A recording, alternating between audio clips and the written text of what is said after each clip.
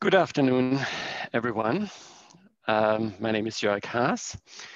Uh, I am representing Heinrich Böll Foundation and Heinrich Böll Foundation is part of the consortium that is organizing the project Transformative Responses to the Crisis.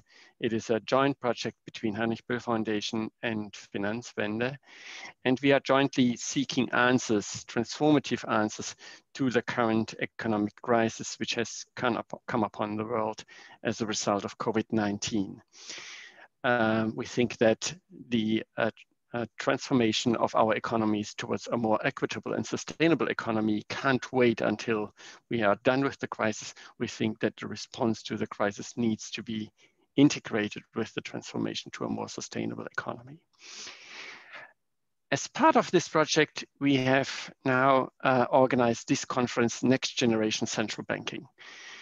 This is uh, has received a lot of interest. Uh, this conference is now with 1,400 people who have registered, and we are really pleased to open this conference with a fireside chat on international central banking.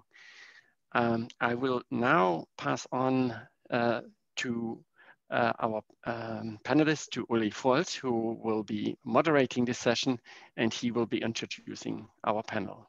The floor is yours, Uli.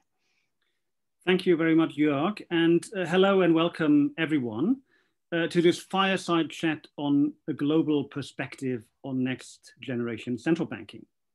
So I'm Uli Volz, I'm the director of the Center for Sustainable Finance at SOAS University of London. Um, and I'm really delighted to be moderating this conversation around the roles and challenges facing central banks. And we're not only going to look at the challenges posed by the current pandemic, but also looking beyond. So addressing issues including inequality, climate change, uh, the digital revolution in finance, um, and other things, and how these relate to the traditional roles and mandates of central banks, and how central bank uh, is likely to, to change over the next uh, years and decades. And uh, so, as Jörg said, this fireside chat uh, is the opening event of the Transformative Crisis Responses Conference. Um, and uh, since much of the conference is focused on, on European central banking, we thought it's important to also bring in a truly global perspective and hear from central bankers and former central bankers uh, from outside of Europe what the main issues are from their perspective and their take uh, on the future of central banking. So I am most delighted uh, that I have uh, with me two wonderful colleagues uh, today, uh, Shamshad Akhtar and Fernanda Necchio. And uh, let me just say a few words on, on each of them um, before actually inviting them uh, to um, give us their thoughts. So Shamshad Akhtar is currently the chair of the board of directors of Karandas Pakistan, which is a collaborative innovative finance and digital finance inclusion platform. Uh, but Shamshad uh, has, a, uh, has had a very illustrious uh, uh, career. She was the 14th governor of the State Bank of Pakistan, which is Pakistan's central bank. And she was actually the first woman to assume this important role. And she did such a marvelous job uh, that she received the Central Bank Governor of the Year in Asia Award.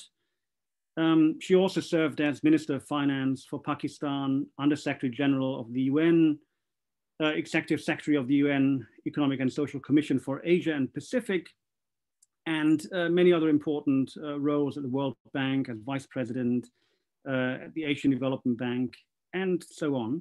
So um, importantly, she not only has this background in central banking, uh, but she's also at the UN, World Bank, ADB, been really uh, instrumental in developing uh, the sustainable development agenda.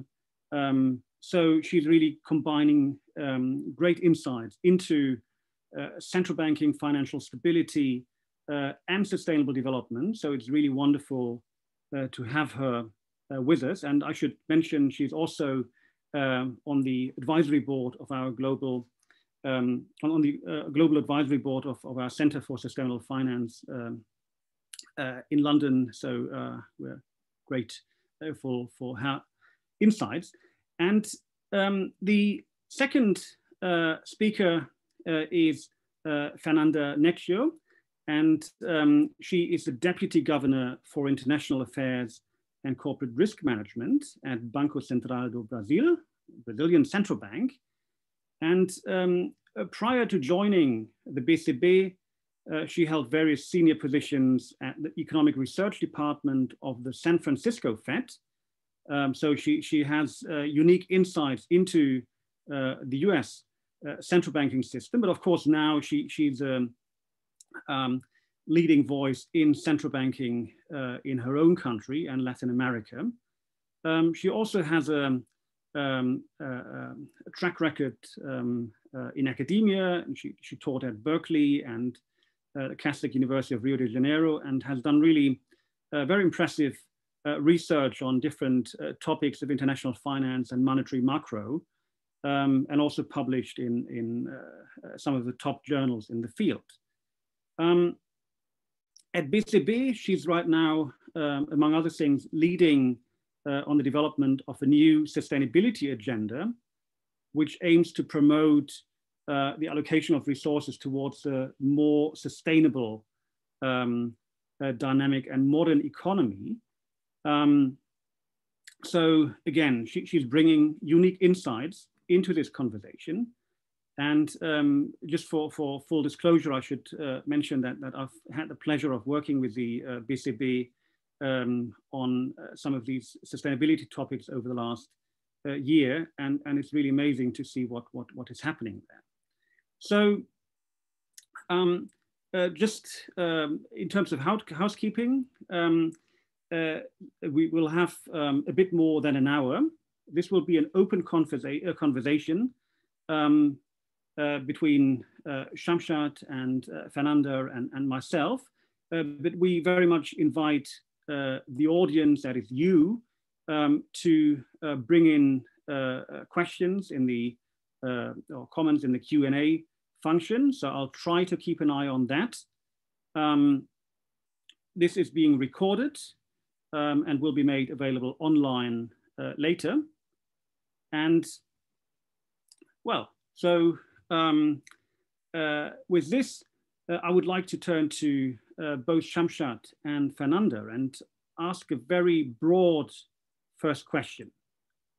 And that is, looking ahead, where do you see the major challenges that central banks need to address and how well do you think are they positioned to do this?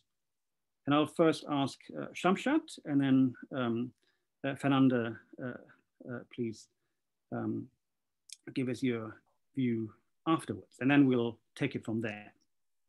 Shamshat. Okay, thank you, Uli. Can you hear me? Yes, very well. Okay, okay. So um, obviously there are multiple challenges that the central banks face. Uh, but to me, they being very prestigious institutions, having a track record definitely of mixed level of independence, but very decent track record where central banks have over the years established their writ, that I do see that in the current environment, there could be legitimate questions regarding the role and functions of the central bank. And there could be debates more and more that are actually already emerging regarding the statutory independence uh, from the political influence uh, as there is a worldwide shift in the directions of the, of the central banks. Uh, they undoubtedly are doing their core functions, but even the unconventional monetary policy was originally not in their mandates. The positive thing is that they have shown, central banks have shown a lot of flexibility in uh, adapting to the new circumstances and also being very responsive to the series of crises and have established their reputation on a positive sense. But there are split views on whether central banks' independence may be under threat through overt or covert pressures on monetary policy decisions. And often pressures may translate uh, to and have an impact on the structure and governance of the central banks. And related to that is my second point that today's central banks actually are under the shadow of fiscal dominance or the fiscal policy support that they give. Now, right now, everybody is excited because fiscal accounts are pretty tight. And in order to rescue um, from the virus as well as other demands associated from the lockdown, it's really the monetary policy that is fueling often the fiscal accounts, particularly in developing countries, by issuing special bonds. So central banks are servicing monetary policy. Um, uh, sorry, the monetary policies are servicing um, uh, the um, fiscal policy. This could, of course, erode the trust in central bank if the magnitude continues to grow. And it could also undermine the credibility of the financial system.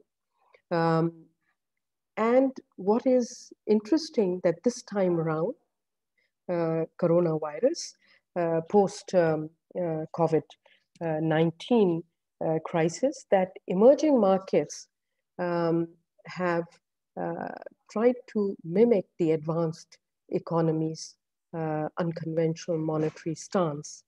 And that could be, uh, could generate renewed pr pressures on their um, fiscal, on their macroeconomic balances, simply because some of these emerging markets are already vulnerable macro in terms of macroeconomic the third is related to the first two, the balance sheet risks of central bank. While not an eminent issue, but looking at the size of the quantitative easing of industrial countries, which has been debated, the question will be uh, how do you design an exit strategy which does not rock the financial markets both globally as well as uh, uh, in the domestic uh, situation. And you have already alluded to my last point is central banks ex severe expansion um, uh, uh, in their roles to serve diversified business areas. So from digital currency to digital financial inclusion, to debates on inequalities, and of course, the most important, the climate change involvement of the central banks in fight against the climate change. And related to that is, do they have the capacity to service multiple goals? Um, central banks, of course, uh, uh, have um, the printing press in their hands, but uh, it's a costly uh, proposition. Um, and it could conflict with their primary goal of price stability um, that's all I have to say in terms of the four principal challenges that I see on the horizon. Thank you, Shamshad. Uh, certainly a lot of uh, uh points to, to pick up uh, later. Uh, Fernanda, what's your take? Sure. Well, good afternoon, first of all, and thank you for the invitation. It's a pleasure to be part of this fire chat today and talk about the importance of a next generation central banking, bringing an emerging market perspective, I think, for, for the whole event that has been uh, super great uh, and uh, we have been uh, following today. Uh, I'll try to focus on my points in trying to complement uh, the many aspects that Shamshad already brought to, to the table. and so I'll start by thinking, talking a little bit about the challenges that are more short run and then go uh, a little bit to the longer, medium, longer run perspective. Um, I think we can, uh, I can start by saying that, you know, post-COVID economic environment uh, brings a lot of challenges, but also some opportunities. Uh, I'll start by talking about the opportunities to be uh, on the positive side first and then bring the challenges uh, later. Uh, I think we're currently seeing the rollout of vaccination programs all over the place. Uh, developed economies have been uh, very committed to keeping monetary and fiscal stimulus uh, through the near future. Uh, so we can we do I think we do have the possibility of having um, a low interest rate environment and, and high liquidity in global markets. So from an emerging market perspective, I think this environment can potentially give some breathing room while we go through our own programs, uh, vaccination programs, and, and the rollout also of all the, the stimulus that that we, we have in emerging economies uh, at this moment. So I think this gives us a little bit of breathing room to, uh, to go through the, uh, uh to the, the crisis and the pandemic, which is still uh, unfortunately unfolding. Um, I think another important feature of the, the current moment, and, and then I, now I'm talking a little bit more, you know, current, middle, and, and moving towards longer term type of uh, uh, challenges and, and opportunities. So uh, is that we are seeing an increased speed of technolo- technological changes. Uh, I think we were seeing that already, but the pandemic seems to seem to have accelerated this process, uh, creating a cycle of changes related to consumption, production patterns, and you know secular changes to the workforce, government actions, and, and so on. So I think, you know, these technological changes bring a lot of opportunities for, for emerging economies, and we can get into the specifics of that uh, later on, I think, if, if there is interest. Um, now I turn to the challenges, and, and, and as usual, there are many of them. Uh, for both emerging and developed economies alike, but you know some mostly emerging economies have a rougher path uh, through, uh, uh, through these challenges. Uh, I think, you know, to start the techno technological changes that I just talked about bring a set of challenges. You know, it, this scenario is in constant evolution. Uh, there is a, a, hard task of regulating the financial system into something that is completely new and, and challenging. You know, all these technological developments are happening at the moment, and we have to uh, uh, be careful and uh, respond to them. Uh, so we should balance the, the incentives for allowing for innovation, but also ensuring uh, financial stability. And that is that is a it, it is a tricky business, right?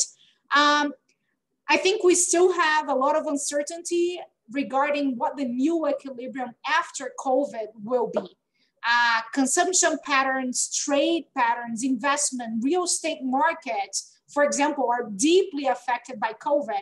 And I don't think we know yet how persistent these effects are going to be and what are the changes that are going to remain with us after we go through the process, right? Uh, world trade, for example, may undergo big structural changes in the next year, uh, in the next few years uh, you know, affecting global value chains, affecting how emerging economies uh, produce and, and exports and imports. Um, so this is, I think, something that is not uh, clear yet how this is going to unfold, but I think it's really important and, and can be a challenge for emerging economies to adjust over time. Uh, I think another challenge that is going to be true for both emerging economies and developed economies alike is that we're going to exit this crisis with much higher uh, debt levels than we've seen before. This is true for emerging, developed, private, and public sectors. So we're going to have to at some point go through some process of deleveraging and recovering from the, the increase in, in debt levels that we've seen in response of COVID-19 and in and it i mean it's still uncertain how we are going to go through through the this process going uh, forward. So i just finished with one thing that that i think we can be certain about uh, and i brought a lot of uncertainties in my my remarks but i think one thing we can count on I think we live in a world with much greater awareness of the need of financial inclusion and inclusion in general uh, as well as concerns about environmental sustainability around the world. So as we work on our recovery and the recovery of our economies, I, we should try to focus on policies that bring, uh, they're more sustainable and, and bring more inclusive growth going forward. So I think this is a demand from the, the society currently. And I think this is the new trend that we, uh, we as central banks and other authorities as well have to embrace uh, going forward. Thanks a lot, Fernanda. Um, if I may, uh, let me just ask you, uh, kind of follow up on, on, on your last point. So uh, we very clearly say, so this is not, an not, not one of the uncertainties, uh, but there is a certainty that for central banks going forward, inequality and environmental challenges are going to be a really important part of the agenda. Can you can you tell us how how you see that playing out? Because um, this is of course um, kind of still a somewhat contested issue. I mean, um, I think it, is now broadly accepted that uh, climate change um, and other environmental challenges pose a material risk to the financial sector. And as such, you know, there is now this big coalition of um, central banks and supervisors, which I think by the latest count has 85 members uh, in the uh, central banks and supervisors network for greening the financial system, uh, including uh, the BCB. Uh, so, so there's an agreement that it is an issue, something needs to be done. But in practical terms, where do you see um, the role of central banks and, and, and uh, kind of all central banks are pretty much still at the start of that, but, but kind of a bit longer term perspective on that uh, would be great to, to, to hear your thoughts. Absolutely. So I think, you know, uh, Shemshad mentioned that uh, that may be some thinking about, you know, maybe central banks uh, uh, trying to reach too many goals at the same time or, or risking uh, reaching too many goals at the same time. I don't see that playing that way, and I can try to explain why, and then we can go back and forth on that. I actually, you know, at the Central Bank of Brazil, we have one single mandate, which relates to an inflation targeting regime. Uh, we, uh, the Central Bank of Brazil has to ensure price and financial stability in, uh, in our uh, national financial system. Uh, and to the extent that we believe uh, social and environmental challenges affect our ability to fulfill our mandate, we think that we need to act on the sustainability front. So it's not that we are trying to reach more goals, but we are responding to an emerging set of factors that affect our ability to reach our goals that were that we were given by congress right so we in fact we believe that mitigating social and environmental risks are strongly linked to our mandate which is to ensure price and financial and stability in the financial sector uh, so central banks we believe need to remain at the frontier of our actions we think that we should respond to shocks and risks that are present in future and to the evolution of society demands and to stru structural changes in the economy. So climate events, for example, um, that were previously considered rare have become much more frequent. These events are uh, affect economic variables in the relevant horizon for monetary policy, for example, by affecting inflation, right? So they are something that we need to really look uh, look at and consider in our decision making uh, related to monetary policy. If we think about uh, the uh, financial uh, stability concerned uh, type of mandate, you know, frequent climate shocks, wildfires, droughts, floods, um, can put the financial system at risk and may change the demand for currency, physical assets, uh, collateral values, for example. So this brings risks to the financial sector, which is in our mandate to try to mitigate. So our actions here are strongly linked to our mandate. And that's why we believe that we need to take into account social and environmental risks in our decision making at the Central Bank of Brazil. Uh, you mentioned the NGFS, which is the Network for Greening uh, the Financial System. Um, we uh, joined the NGFS last March. Our participation in the discussions have been super beneficial for us. We're learning a lot.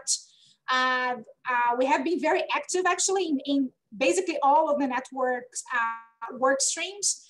and given the challenges that we face are global, partnerships like that are, are fundamental for developing an agenda uh, towards a green, greener financial system in our country. So we have been exchanging a lot of information, a lot of information with them and learning a lot for all, from all the work that the NGFS uh, produces. And we last September launched our sustainability agenda, uh, which is basically, you know, uh, uh, uh an, uh, a dimension that is a pillar in our strategic agenda at the Central Bank of Brazil. We announced that last September with a set of measures and initiatives aiming to foster a greener financial system in Brazil and to mitigate social and environmental risks. But I think the key challenge, the key uh, aspect of our, you know, our measures are the set of measures that we announced are really extensive, not not exhaustive at all, because we think this is a uh, an area that is still unfolding and we are still learning a lot from it. Uh, but it is key to understand, I think, that this is very much so related to our mandate. And that's why we need to act on it. So I, I mean, I'm happy to talk more about the agenda here, which is really, uh, really something that I have been working on uh, at the Central Bank of Brazil. But I, I, I want to hear from from Shamshad as well uh, on all these issues. Absolutely, thank you. And and I mean, as someone who who's been working on central banks and climate change and environmental issues for, for a good decade, it, you know, it's so amazing, you know, to to to to have uh, leaders from from the most important central banks in the world, you know, so forcefully making this point. Because, as you know, uh, a couple of years ago, this was, you know, you, this kind of statement you would not hear. But I think you've made very clear how, how that, that, you know, you consider this very much at, at the center of, of, of, of uh, the mission of, of your own central bank. But I mean, what you said for Brazil uh, certainly applies also uh, to other central banks. Uh, Shamshad, when, when you were central bank governor, um, of course, there were also a lot of issues, uh, but climate change and environmental issues were, were, were not really on the agenda. But kind of with your kind of longer term perspective in, in central banking, how, how do you see um, uh, this, this trend now? Uh, first of all, let me say I agree totally with Fernandez. Uh, I hope that sometimes I have a disagreement with her. Uh, that would be more exciting, but I fully agree with her as a former central bank uh, banker. Now, let me make one point to what she said. Um, as I mentioned earlier, that there are multiple agenda, agendas which have cropped up. Now that's a combination of multiple crises that we are facing in the world and in the jurisdictions themselves, which are forcing the central banks to think through um, in a broader context uh, in the development arena, uh, and also to look at how some of these emerging challenges are linked up with the core mandate of the central bank. And she's absolutely right that uh, bulk of the central banks that have inflation targeting uh, are concerned, of course, with pri uh, price stability and uh, financial stability, although there are debates whether the uh, monetary policy and financial uh, stability should coexist um, under the central bank umbrella. I am more inclined to say that all these issues that have been articulated by Fernandez have to be addressed in a broader context of the mission that all the countries have. Now, you uh, asked more pointedly on the climate issues. Of course, uh, in 2006, uh, this debate was not as burning as what it is today. And uh, obviously, in I have, uh, in my role as the as the United Nations Under Secretary, um, I have firsthand been involved in the um, uh, in the formulation of the Sustainable Development Agenda, as well as the Paris Agreement its Accord itself. I have to tell you that it's very exciting to have this debate and the ownership of the central banks uh, emerging now finally on trying to think through on how to look at the issues of the climate change. I believe that without getting the finance right, uh, we will not be able to uh, get the issue of climate change in tightly nipped uh, because it's the finance that is driving the bad behavior of the economy, companies, households, people at, at large. So central banks are known to develop policies and to make sure they are mainstreamed uh, within the financial markets through the financial institutions and they're of course uh, have the ability to enforce through a regulatory architecture. And what's the most fascinating thing is the speed with which, in the last few years, this whole debate has gained momentum. I mean, from virtually zero attraction to a very fast pace. And I think this NGFS uh, is really one of the most valuable creation at a global level because it can give a lot of guidance. Now, where do we need guidance for the central bankers? One is data generation. We need, as a whole international community, need to launch phenomenal efforts on climate data because nobody knows what's out there. We need to develop capabilities and capacities for climate stress test testing. Um, whether it's within the central banks or it's within uh, the contours of the government somewhere, because there is no way the either the central bank uh, could assess the financial stability risk in a in a complete uh, vacuum. So we, we do need data, we do need modeling capabilities, and then we need the whole taxonomy of the regulatory architecture so that we do have a more balanced and harmonized approach.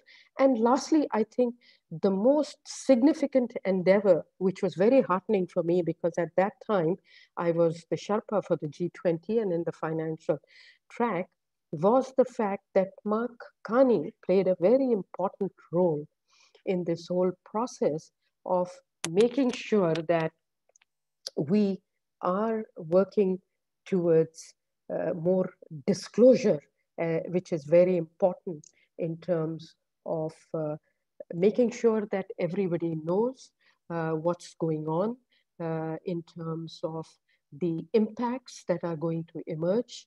Um, and I think besides the data, what's important is the disclosure by the various um, uh, companies, uh, or for that matter, various uh, uh businesses on the kind of uh, uh, the kind of um, policies or approaches that they are adopting, and disclosure that Mark Carney, the technical disclosure that Mark Carney worked on, is going to really change the scene and our ability to be able uh, to come to grips with the climate change. So I do feel while the political momentum is there, central bankers have accepted it, but I think we still need to get some granularity and also some uh, roadmap for which things need to be addressed first. And it was very encouraging, and I'm sure you all have read in the latest issue of the Global Financial Stability, where the IMF has said that we would like to, we support GFS and other international institutions, even on data generation now. And I think that is the first basic work that needs to be completed because otherwise you would be grouping in dark. I'm going to let Fernandez question me now on anything she wants to.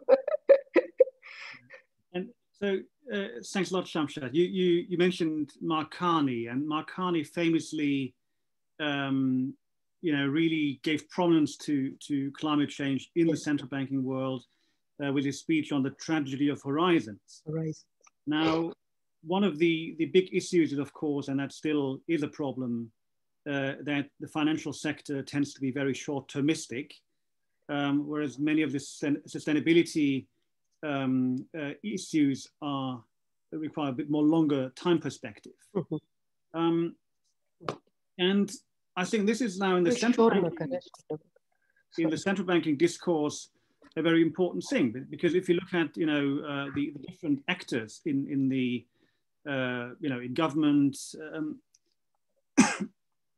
um, central banks have a quite unique position um, and are you know detached uh, uh at least to a certain degree from from the political uh, reality. So so they can afford to have a bit more long-term view. Now um, the, the time horizon you take obviously has a big impact on, on what you do today.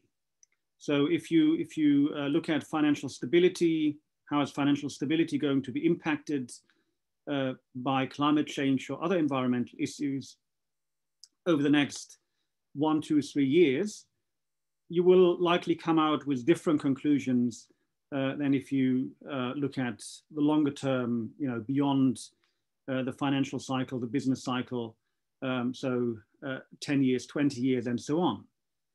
Um, and taking this longer perspective could lead you to very different conclusions. And, and what, what do you think about the role of central banks in, in taking this long-term perspective and then um, also responding uh, in a way that, that uh, will shape markets more than, than what they're doing uh, right now with a kind of a rather narrow uh, risk-based approach. Um, keen to, to get, get Fernanda's views uh, on this. So you um, raised several questions and I wanted to, uh, I want to touch upon many of them. I, I, think before I do that, I think Shemshad uh, said something that is really important and I just wanted to reinforce uh, so first, I mean, the role of the NGFS has been uh, really, really key in this whole uh, area of central banking and uh, and climate change. Uh, you know, to think that the NGFS only started really recently, you know, about like 2017 with seven members, and fast forward to 2021 and it has 83 plus, right? So I mean, the growth that we've seen in interest in this field is, is pretty amazing. And I think this is because we are actually uh, seeing changes in, in the world that we need to react to. So I think there are a few things that really need to be tackled. And I think the NGFS has been working on that and, and central banks as well. Uh, bridging data gaps, research uh, in, in this area, I think it's key. And we have very little of it. I mean, relatively to researching, I don't know, uh, macroeconomics and inflation, for example. Um, building stress tests and scenarios, I think it's something that we, uh, we really need a lot of contribution. Uh, and the NGFS has been working on that. You know, scenarios for uh, climate change are forward looking and and thinking through what's coming next. I think it's it's super important and and, and global a global effort. So i think the forum uh, plays you know an, a very important uh, uh, task on this. Uh, in terms of uh, looking forward and thinking more medium and longer term you know i gave uh, my example uh, with climate change, for example, and the effects on inflation, right? And how it affects our uh, mandate of reaching a target. Uh, so if you see that, you know, weather, uh, extreme weather events are becoming more frequent, you know, you, you quickly have to incorporate that in your decision making. So you know, we are seeing that happening already, particularly for countries, for example, that are big commodity exporters. You know, this affects inflation and the economic cycle. And so this has to be uh, ingrained in, in, in the central bank's uh, modeling framework and in the discussions. And thinking a little bit more about the uh, um, financial stability aspect. You know, some central banks are not uh, responsible for financial stability. Sometimes that it's separate. In the case of Brazil, we are actually responsible for for uh, concerns related to, to financial stability. So it's something that we also need to take into account uh, going forward uh, and relating to weather events, climate events, but also social uh, social aspects, right? So let's say that we have a bank that for some reason uh, it's up in the news that it has relationships with a firm that uses, you know, uh, labor in, in, in an illegal way, in some way, you know, some type of like slave type of labor. This can bring a real, a real challenge to the financial system, right? I mean, we can see very quick reactions from players in the financial system trying to stay away from such behavior. So this is a type of uh, concern that I think can come from the social aspect and from the climate aspect as well. And um, I think the one thing that is key here, and Shemshad already brought it, is disclosure.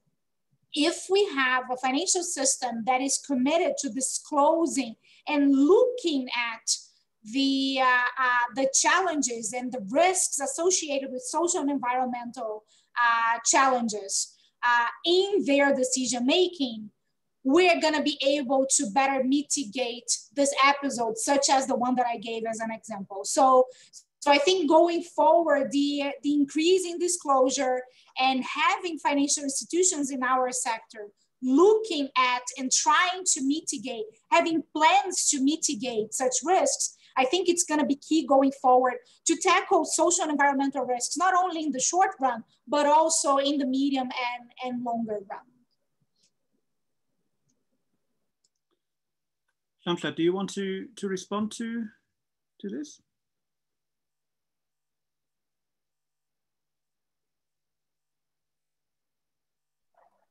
Okay, uh, sorry, uh, I was trying to unmute.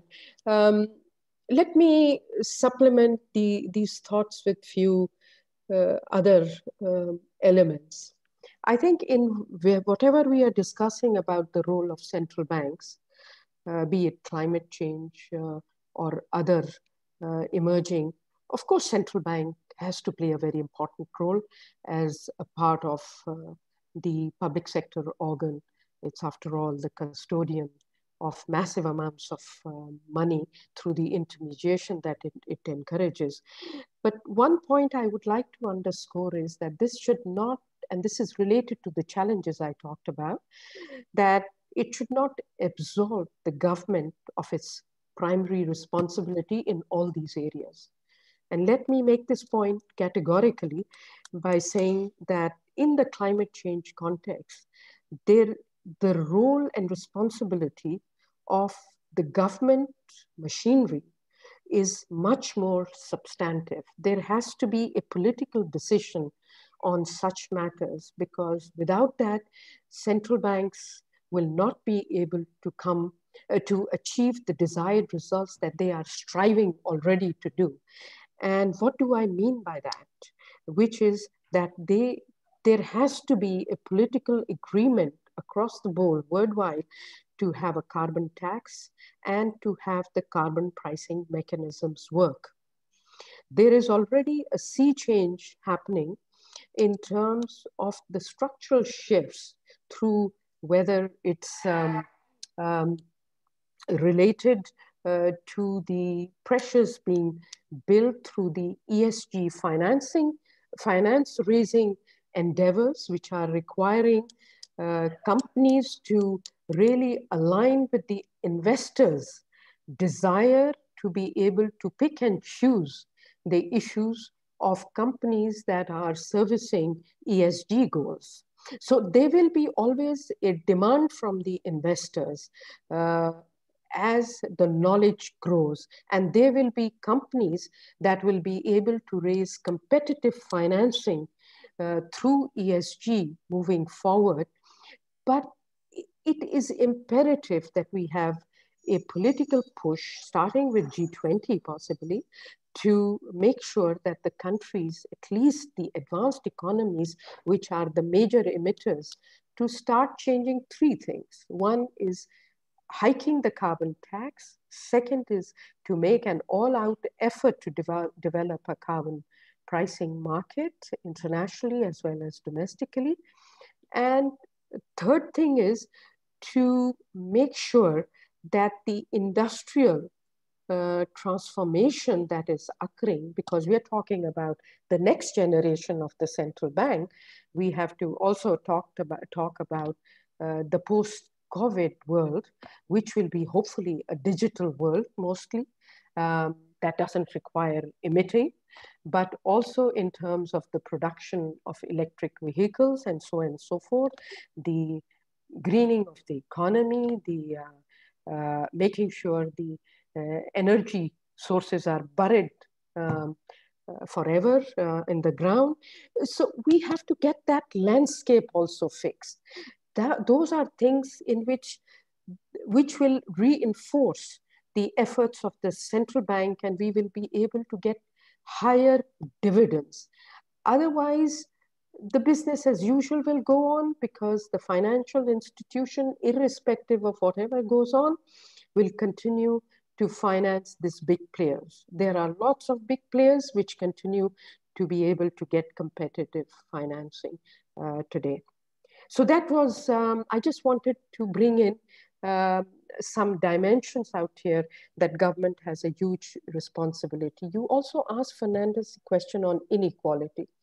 My position on inequality, the, the, the big picture, since you wanted, is that inequality is a responsibility of the governments at the end of the day because it's really a fiscal policy that can play a very important role through the taxation regimes or the expenditure reorientation and so on and so forth. But also central banks can play a role through the financial inclusion and that's what they're doing. We in Karandas are supporting the central bank uh, of Pakistan to develop a micropayment gateway, which is being launched as we speak. And that will really make a magical difference to the world of the financial inclusion. But inequalities are being perpetuated by central bank function, uh, uh, by central bank acts too. And we need to acknowledge that and we need to correct that. And let me make this last point that of course, the quantitative easing that is happening has an impact on asset pricing. I'm just taking one example. I could talk a bit more in detail on inequality. And to the extent that the beneficiaries are the top 10%, we are aggravating uh, the not only the, the dimension of the wealth uh, uh, accumulation and concentration, but we are making um, the uh, rich richer. And if it's the top 10% uh, um, are deriving, uh, say, hypothetically 60% of the incomes, they, that may go up to 80% because there is a huge amount of money that is being made through the securities market. And central banks, obviously, uh, are not responsible for non-bank sector, but quantitative easing, where the money goes, there is no, money is fungible. So the money goes to calm the nerves of the stock markets and the prices go up, calm the nerves of the housing markets. So property, uh, and I can tell you in Pakistan, that's what's happening, that huge amount of money is going into the housing business and there's a huge speculation. So of course, we want housing for low income.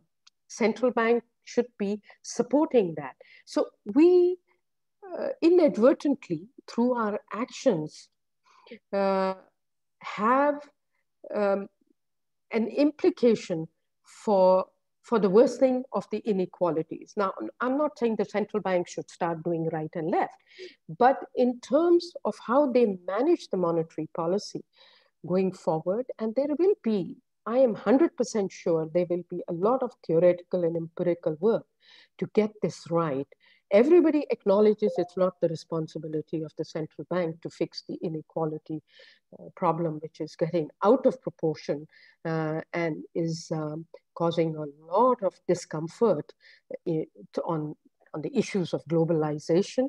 The unpopularity of globalization, too, um, is partly related uh, to the inequality is, is mostly related to inequalities, if I may say. And now with the, with the coronavirus, the ranks of the poor swelling to over 100 or 150 million, the jury is still out on what is the correct number, that we have to be very prudent in the fiscal monetary mix. And that was the challenge I was talking about earlier. Over to you. Thanks, uh, Shamshad. I mean, so you, have um, already in, in, your intro statement uh, mentioned the relationship between fiscal and monetary, and, and you've, you've just made also the point that uh, climate policy, obviously, you know, there is a huge role for, for the government. Um, now, ideally, you know, we will see uh, swift government action along the lines that you mentioned, but of course, there needs to be much more uh, industrial policies and so on. Um, but I think both of you also highlighted very much the role of the financial sector in facilitating that, that transition to a low carbon economy, more resilient economy, also more inclusive economy. And uh, so picking up on, on one of the comments from, from uh, the uh, Q&A, um, one of the, the um, kind of tenets of, of modern central banking has been market neutrality. Yeah, so I mean that, that is in a way kind of one of, one of the big elephants in the room. Um, so central banks uh, have have uh, or not all, but but many central banks have been uh, kind of holding up this, this mantra of, of um, uh, market neutrality. Um, and the problem, however, is that in a way, if, if, if markets are misallocating capital to, uh, say, environmentally harmful activities, and uh, the central bank is then taking a market neutral stance, then it is perpetuating the problem. So my question, and, and, and I mean, this is now a, a discussion that, for example, in the European uh, context has boiled up uh, very much. Um, also in the, in the context of um, uh, unconditional monetary policy, uh, sorry, uh, not, not, unconditional, uh, um, unconventional monetary policy, partly unconditional as well. But um, so where, for example, um, various studies have shown that uh, QE, so corporate asset purchases, uh, have very much uh, been tilted toward carbon heavy areas. And, and um, so you, have both pointed to the structural problems and that we, we basically need to, to get the finance right.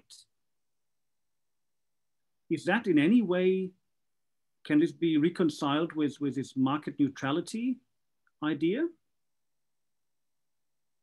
sorry for being a bit provocative, but I think that's a really important point. Um, do you want Fernandez to first, um, since I have spoken a bit? Yeah, maybe, very... maybe Fernando. If, if I mean... And then I, I would like to answer this question, but I'd like to hear the sitting governor.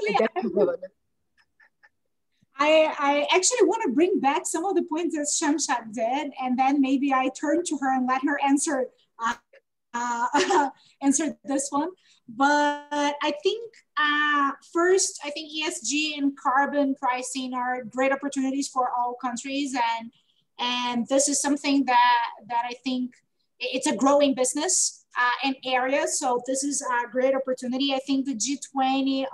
I agree with her. The G20 has a very important role in discussions related to uh, climate change and social and environmental risks. Uh, and again, it's a global effort. So we, we really need uh, different sectors in all countries to be involved in the discussion. So I, I just wanted to, uh, to go back to her point and, and reinforce them because I think they're super, uh, super relevant. Uh, on um, inequality and central banks, I think I mean, she said a lot of, uh, she made a lot of important points. I wanted to add one point, which is how central banks contribute uh, to this by fulfilling their mandate. Um, so, you know, in Brazil, we have a, um, a, relatively recent story of inflation and very high inflation. Uh, and inflation is much more costly for lower income households than, than to other ones, right? Uh, many of the lower income households do not have access to financial instruments. They, they lack uh, financial literacy, and they, they cannot protect themselves against inflation. So to the extent that central banks have an inflation mandate, uh, an inflation targeting regime and inflation mandate. And when we fulfill our mandate, we are contributing uh, by controlling inflation, we are contributing uh, uh, to uh, lowering inequality uh, by, by simply fulfilling our mandate. So by keeping inflation under control, uh, I, I, think it's very fair to say that this was very key to lift a lot of citizens in Brazil out of poverty and offer them better uh, life opportunities. So fulfilling the mandate to keep inflation within the target and guaranteeing financial stability is key to protect firms and households particularly the ones that are uh, lower income households. And this is already a key contribution from central banks uh, to, to the challenges related to, to inequality. Um, so I think I, I, I leave uh, the, the rest of the discussion to, to hear from Shamshad. Shamshad. I think market neutrality is um, a ubiquitous concept in context of the central banking and financial markets businesses. Market neutrality is principally got to happen at the stage of investment uh, and trade or whatever at the production stage, uh, principally because then the players come uh, to the financial institutions to seek the financing. So I think this is one of the areas which I feel has not been very well understood. Uh, I personally think uh, central bank uh, banks market neutrality is a myth. Now, I may be very provocative in the way I am putting this across, but I recall sometimes reading Christine Lagarde, who is now the ECB uh, head, um, that she also raised this critical question. And I don't recall the exact arguments she had, but if um, the the and I apologize if I am interpreting her wrongly, but my reading of her uh, was that, of course, you intervene where there are market failures, and that is why central banks intervene when there is a, an issue related to aggregate demand and you want to go the unconventional monetary financing route. And then uh, you withdraw that unconventional uh, mop up that liquidity when situation. So you somebody would say is that a market neutral position uh, to be involved in as a central banker? It's a principal function. You have to intervene in the provision of liquidity, but in the choices that you make in the design of the unconventional monetary policy. I'm just picking up one example, but I could give you more examples of why I question market neutrality, is that why did we miss the boat? Why didn't we say that we are going to pick up really the assets which are climate friendly or subscribe to ESG. After all, this is also a growing market.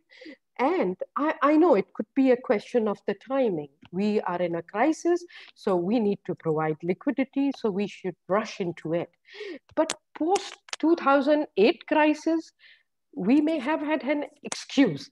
But after 2008, from the lessons we have drawn, how come ECB and United States did not really go at a faster pace to be able to generate assets that through through the actions that it can take i'm not saying to and and the governments to uh, encourage. And we would have been going faster in terms of meeting our climate targets in these biggest high emitters uh, jurisdictions that our unconventional monetary policy is not market neutral. It is in favor of the big companies that are emitters. Now, I haven't seen a dissection, and that's why I think data is very important to know what are the quality of the assets that have been subscribed by the unconventional policies. And this is something that needs to be fixed because there will be, when the climate, you know, I always say wait, we, we are really afraid of coronavirus, what it's done. It's been, it's been really bad. It's, it has really impacted every individual. I mean, all of us have been suffering uh, because of this contagious uh, uh, problem. However, wait till what happens in climate change. I live in a developing country. 45 degrees temperature. People are dying of the heat because they don't have the air conditioning facilities. You look at what's happening to the flooding situation. One flood causes you lose millions of people in one flood. 2 million according to one account. We don't even have proper statistics in our, in our country and we are somewhat better than others in terms of our statistics. So a lot of physical catastrophes are not even accounted for in an effective manner. The science of predicting weather is yet to evolve. And I have been involved with some teams that are looking at what impact it does to agriculture. We don't have food security because of the climate uncertainties. So I think the climate shock, which has yet to unfold in a bigger manner, this is what the global community is talking about. This is what Greta is talking about. The future generation will be worried about and cursing us um, about is that we really need to act now. But the choices the organized institutions are making and saying we need to be market neutral. Market neutral for what? Be market neutral to support ESG. It would be my, uh, my position. Sorry, I am a little more emotional on this subject of the central bank's myth about market neutrality. I think we intervene where we want to intervene as central bankers. Because after all, when you are a central bank governor, you are in the limelight and everybody is expecting you to behave in a, in a, in a, in a manner that is kind of going with the wave, so to speak. But you know, the, in, the industrial world uh, has shortchanged us because they are the biggest emitters. They have to lead by example, and they have. And you know, I, I salute Christine Lagarde because she has raised these questions when she was at the IMF. The climate change issue started when she got in there. And since I was in G20, I have seen her passion for sustainable development and sustainable financing. Other G, otherwise, the G20 didn't want to listen to the sustainable development agenda. I mean, in 2015, imagine when I was sitting in 2014 talking in the G20 about sustainable development goals. I was the last person to be invited to speak when I had my, because they knew what I will talk about. I was the Sherpa for the Secretary General. It was my mandate to talk about uh, sustainable development goals. It was not until Russia took over and then Turkey that we were able to penetrate on sustainable development goals and climate change on energy efficiency. So I have seen how the global evolution of the debates unfolded, both at the central bank level and at the development agenda level. Sorry, I've spoken a bit more than I should have. Apologize. No, but it was it was fascinating to listen, and and um, uh, I, I mean, what what you say is basically that we are and even more developing emerging economies are, are facing a really dramatic situation and we basically need dramatic action. And I mean, of, of course, you know, you, have highlighted that governments do have a very important role to play. But, but if, if I interpret you correctly, you say that central banks need to be much, much bolder than they are now. Absolutely. That's a good summarization. And so, I mean, I uh, one, one issue, of course, that Shamshad, as a former central banker, um, can can speak very freely. Uh, I do understand that um, uh, a serving uh, deputy governor ha has to to to be a bit more careful with her words. But I don't know, uh, Fernanda, if you if you want to come in on this one. But I mean, I also recognize we have just uh, 10 minutes left, and there's actually an awful lot of issues that you both brought up that we haven't really gotten to. Um, but uh, Fernanda, please.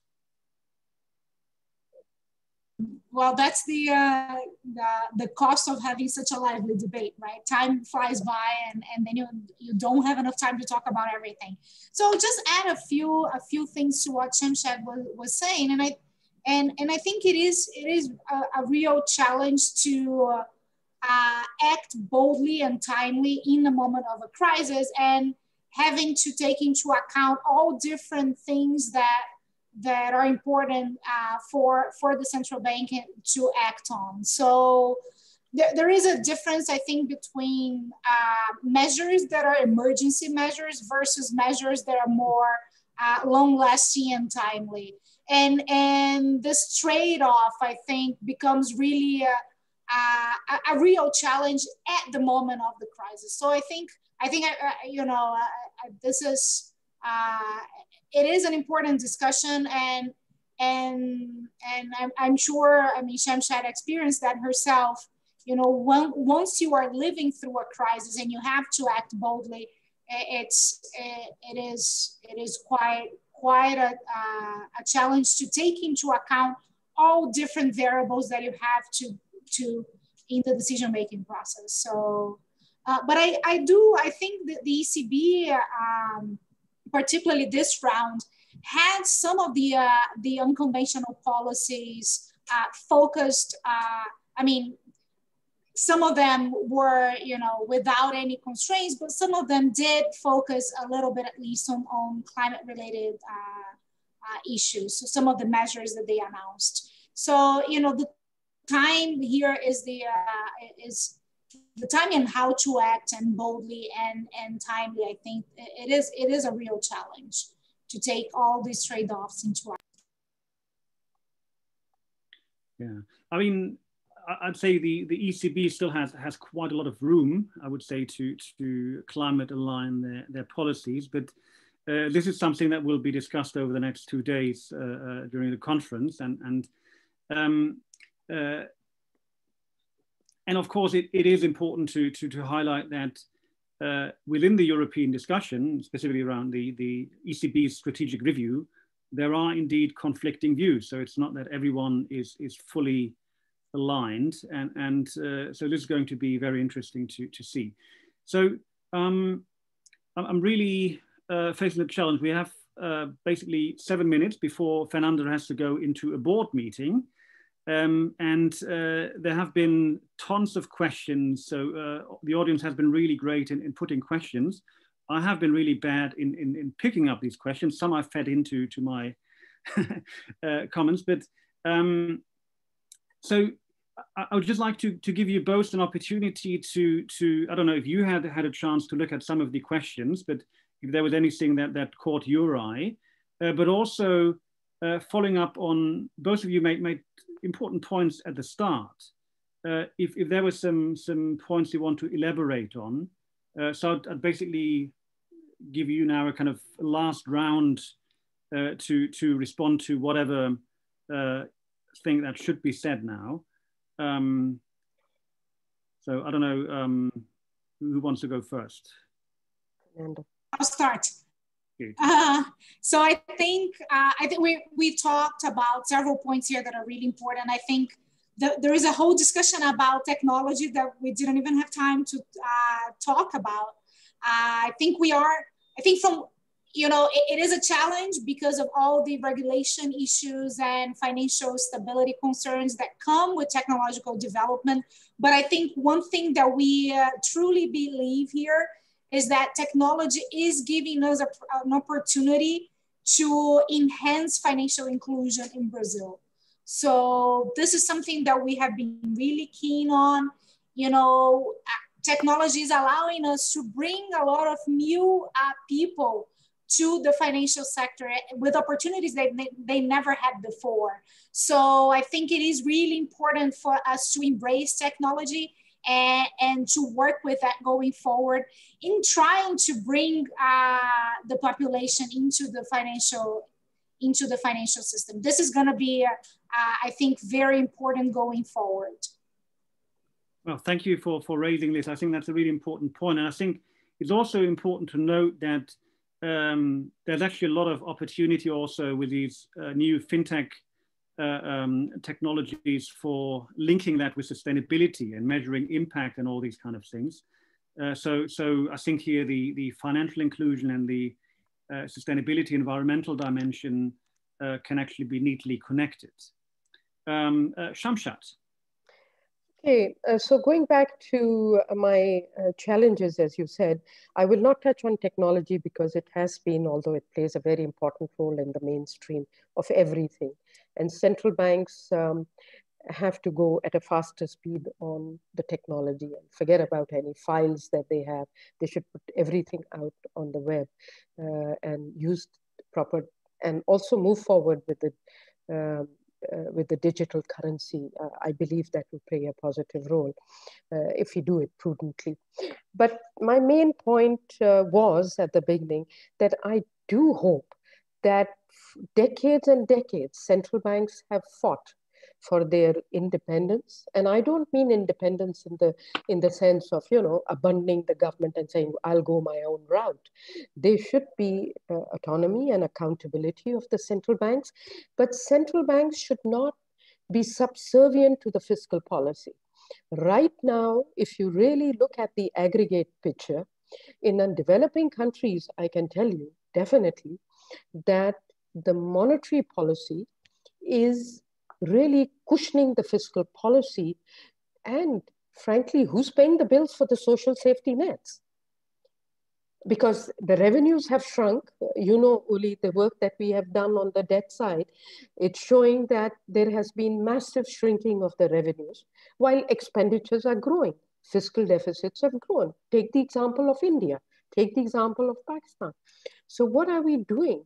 Through the monetary um, financing, we are easing the fiscal policy's ability to be able to intervene. Now that's fine for now. As Fernandez says, we are in an emergency situation. But how do you roll back this? It's not going to be easy. It's very easy to, to jack up, but it's very difficult. So that was one point. Second is my uh, very positive spin that I'd like to make. We need trillions of dollars of investment in the um, in the sustainable development agenda. All this liquidity that has been generated and has to be deployed effectively, whether through the IMF interventions, um, through special programs, uh, we say it's gone into social safety net uh, cushioning or the health facilities. I have to tell you from some of the developing countries discussions I've had, it's not physically to be seen where it should be going.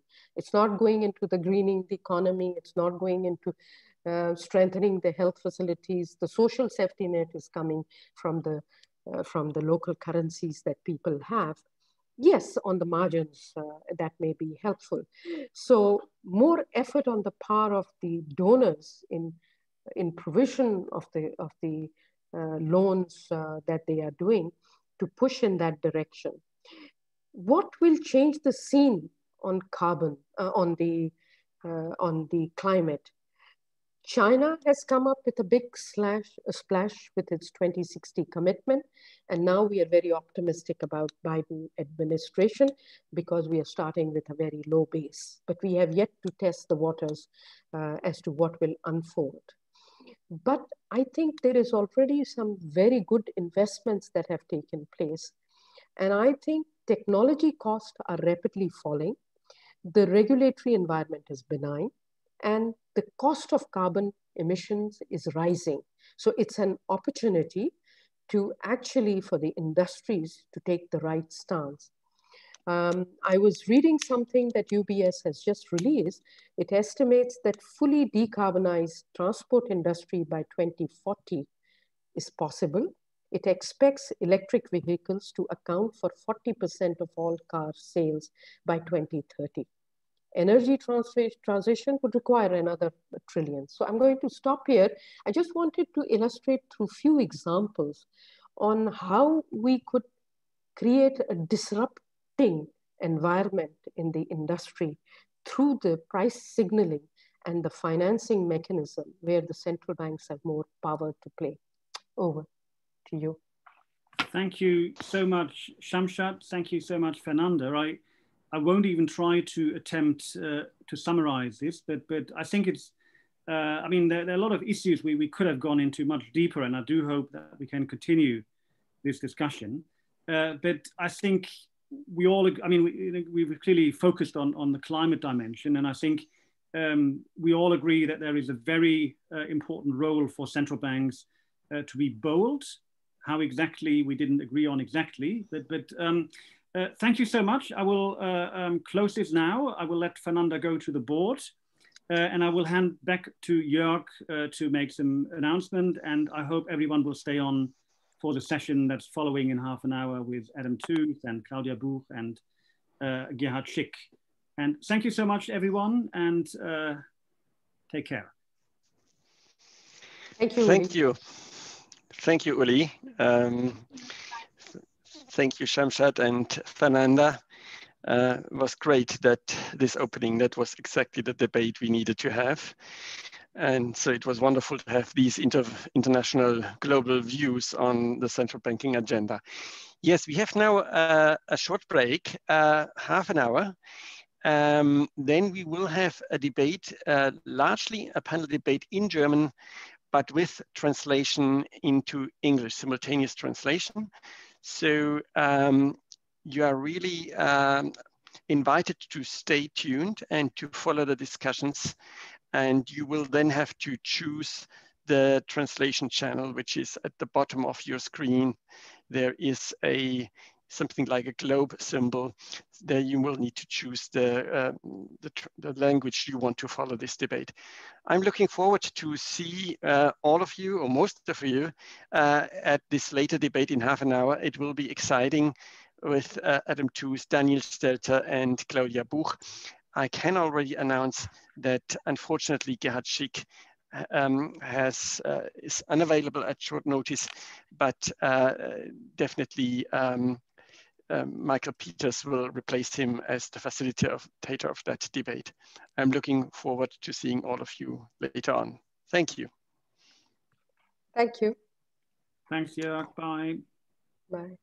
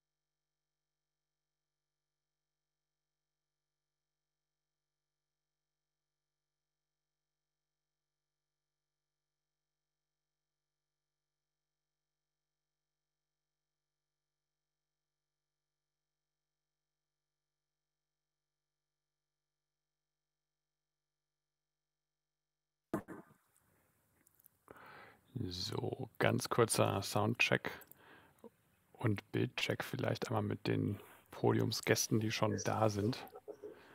Äh, ich bin's, Michael von Finanzwende. Ihr müsstet jetzt eure Mikros anmachen können und auch einmal sprechen können. Ja, hallo Peters, Ah, da. Das hat jetzt funktioniert hier. Genau. Bild kann ich selber nicht testen, ich sehe mich gerade nicht, aber ich hoffe, es ist bei Ihnen. Aber ich sehe Sie, Frau Buch. Hallo, herzlich willkommen. Ah, meiner Sicht zumindest. Okay. Alle gestellt, da sehen Sie mich ja, das weiß ich wiederum nicht. Ja, ja, doch, das ist ein kleines Deckchen da. Genau. Also, okay. Ja, dann passt das ja schon mal. Genau, wir haben sehr gut. Kurze Stimme aus der Technik. Wir haben aktuell noch ein Echo bei Frau Buch. Das heißt, Frau Buch müsste unbedingt sich noch Kopfhörer anschließen. Das kann ich leider nicht, weil ich es über das iPad mache, aber ich mute mich dann oder man kann mich muten, ähm, wenn äh, ich nicht spreche. Alles klar, dann müssen wir das so regeln. Alles klar, ja, okay, gut. Ich,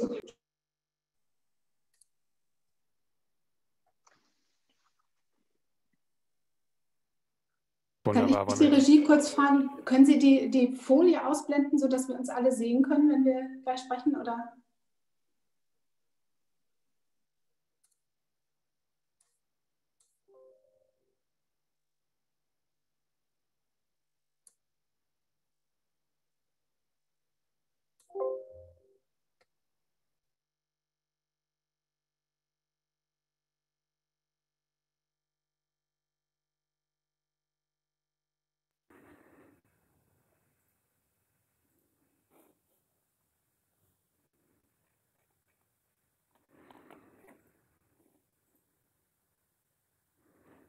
Sehr gut, aber wir sind ja jetzt alle schon mal eingecheckt und haben mit Namen versehen. Jetzt äh, warten wir noch kurz auf Herrn Tus und dann können wir um halb dann auch starten.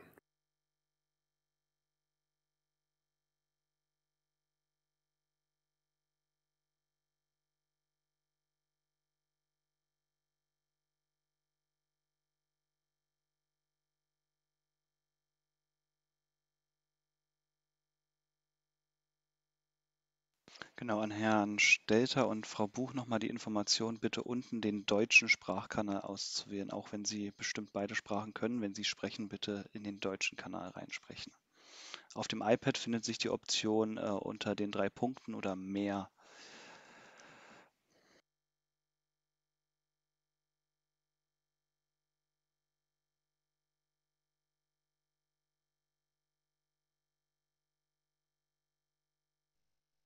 Das habe ich jetzt gemacht. Können Sie das kontrollieren, dass alles richtig war? Ich höre Sie jetzt im deutschen Kanal. Danke sehr. Okay, prima.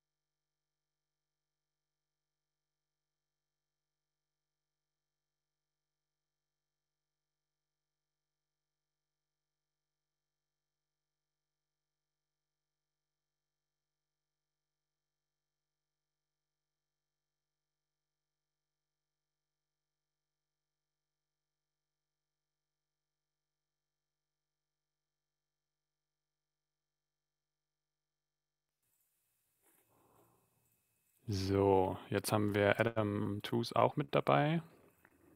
Ähm, Herr Thus, Sie können auch einmal das Mikro testen jetzt und das ähm, Video anmachen. Dann haben wir das einmal gecheckt.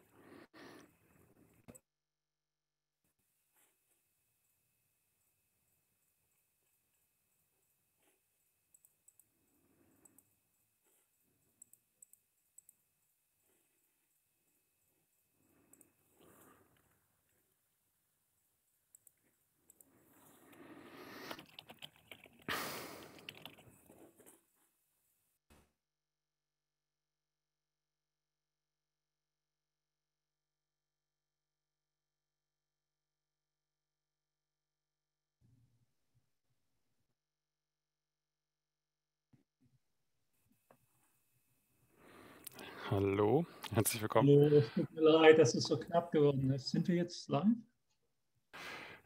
Wir sind schon live, aber äh, wir starten erst in drei, vier Minuten. Ähm, passt das so bei der Technik alles? Ja, sehr gut. Ich äh, hole mir eine. ja. Tut mir leid, dass es so knapp geworden ist. Machen wir die Veranstaltung übrigens auf Deutsch oder auf Englisch?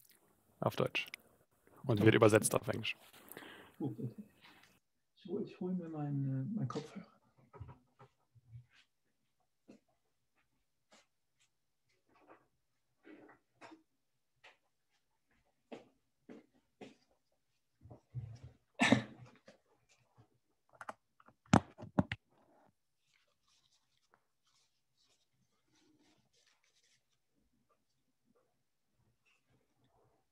Hallo Claudia, freut Sie kennenzulernen. Ja, hallo, Freude ist ganz meinerseits. Ähm, ich habe gehört, dass ich ein Echo produziere, deswegen werde ich mich immer muten, aber ähm, genau. Gut, freue mich auf die Diskussion. Ich freue mich auf die Diskussion. Hallo, Mr. Toast. Hallo, hallo, ich habe Sie nicht gesehen. Hallo. Nein, ich war auch noch nicht zu sehen, kein Problem. Freut mich sehr. Viel von Ihnen gelesen.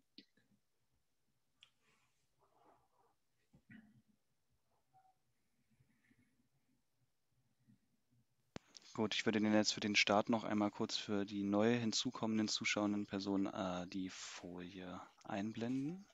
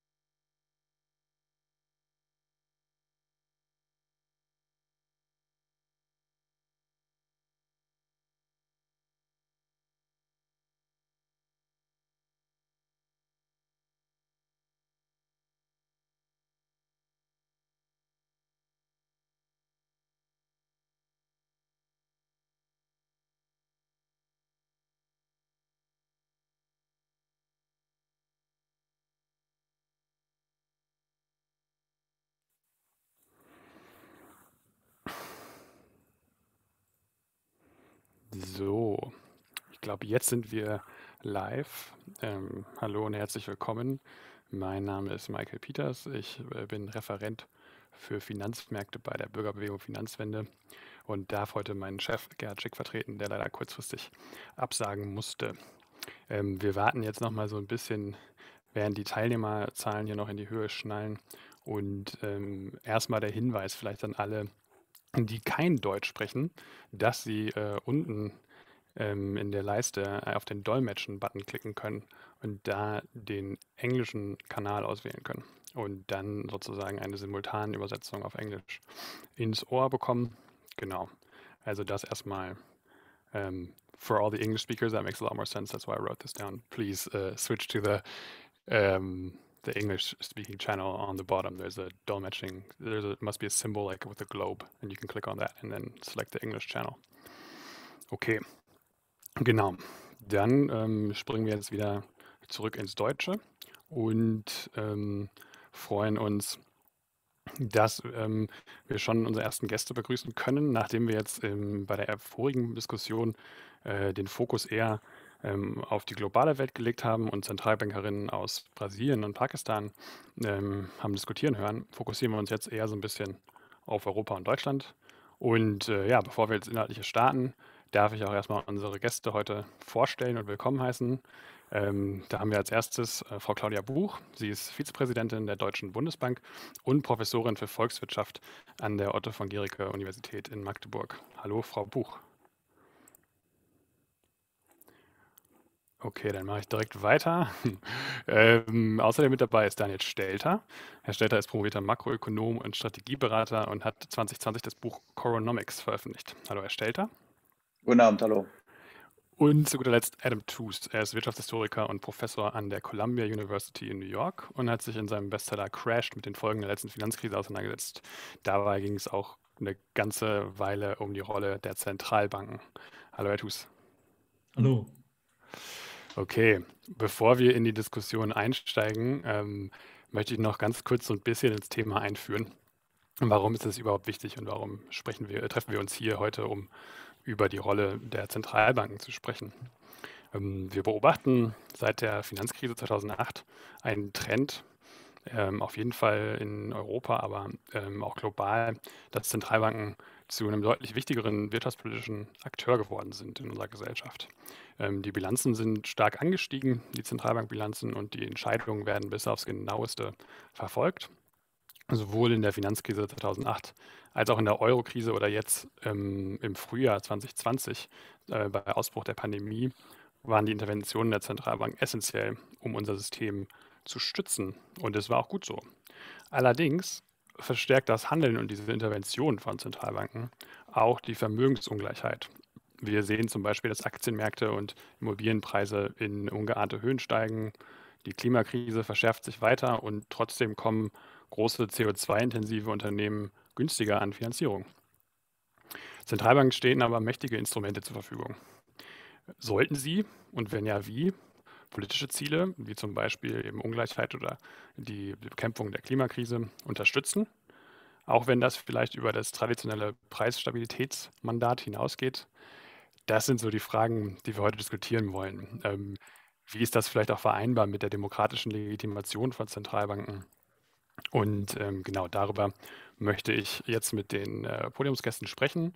Und wir hatten abgemacht, dass wir am Anfang kurze Eingangsstatements von circa fünf Minuten ne, abgeben. Da würde ich jetzt äh, Frau Buch bitten, dass Sie damit beginnen und dann ähm, gehen wir die Reihe zu Herrn Stelter und Herrn Thus weiter. Vielen Dank. Ja, vielen Dank, Herr Peters. Ich hoffe, dass ich mich jetzt ein bisschen flotter ähm, äh, das Mikrofon aktiviert habe als eben. Also ich muss mich erstmal ganz herzlich bedanken, ähm, heute hier dabei zu sein und mitzudiskutieren. Und ähm, ich werde mal versuchen, in den fünf Minuten zu bleiben. Alles, was ich nicht in den fünf Minuten schaffe, werden wir hinterlich sicherlich auch noch diskutieren können.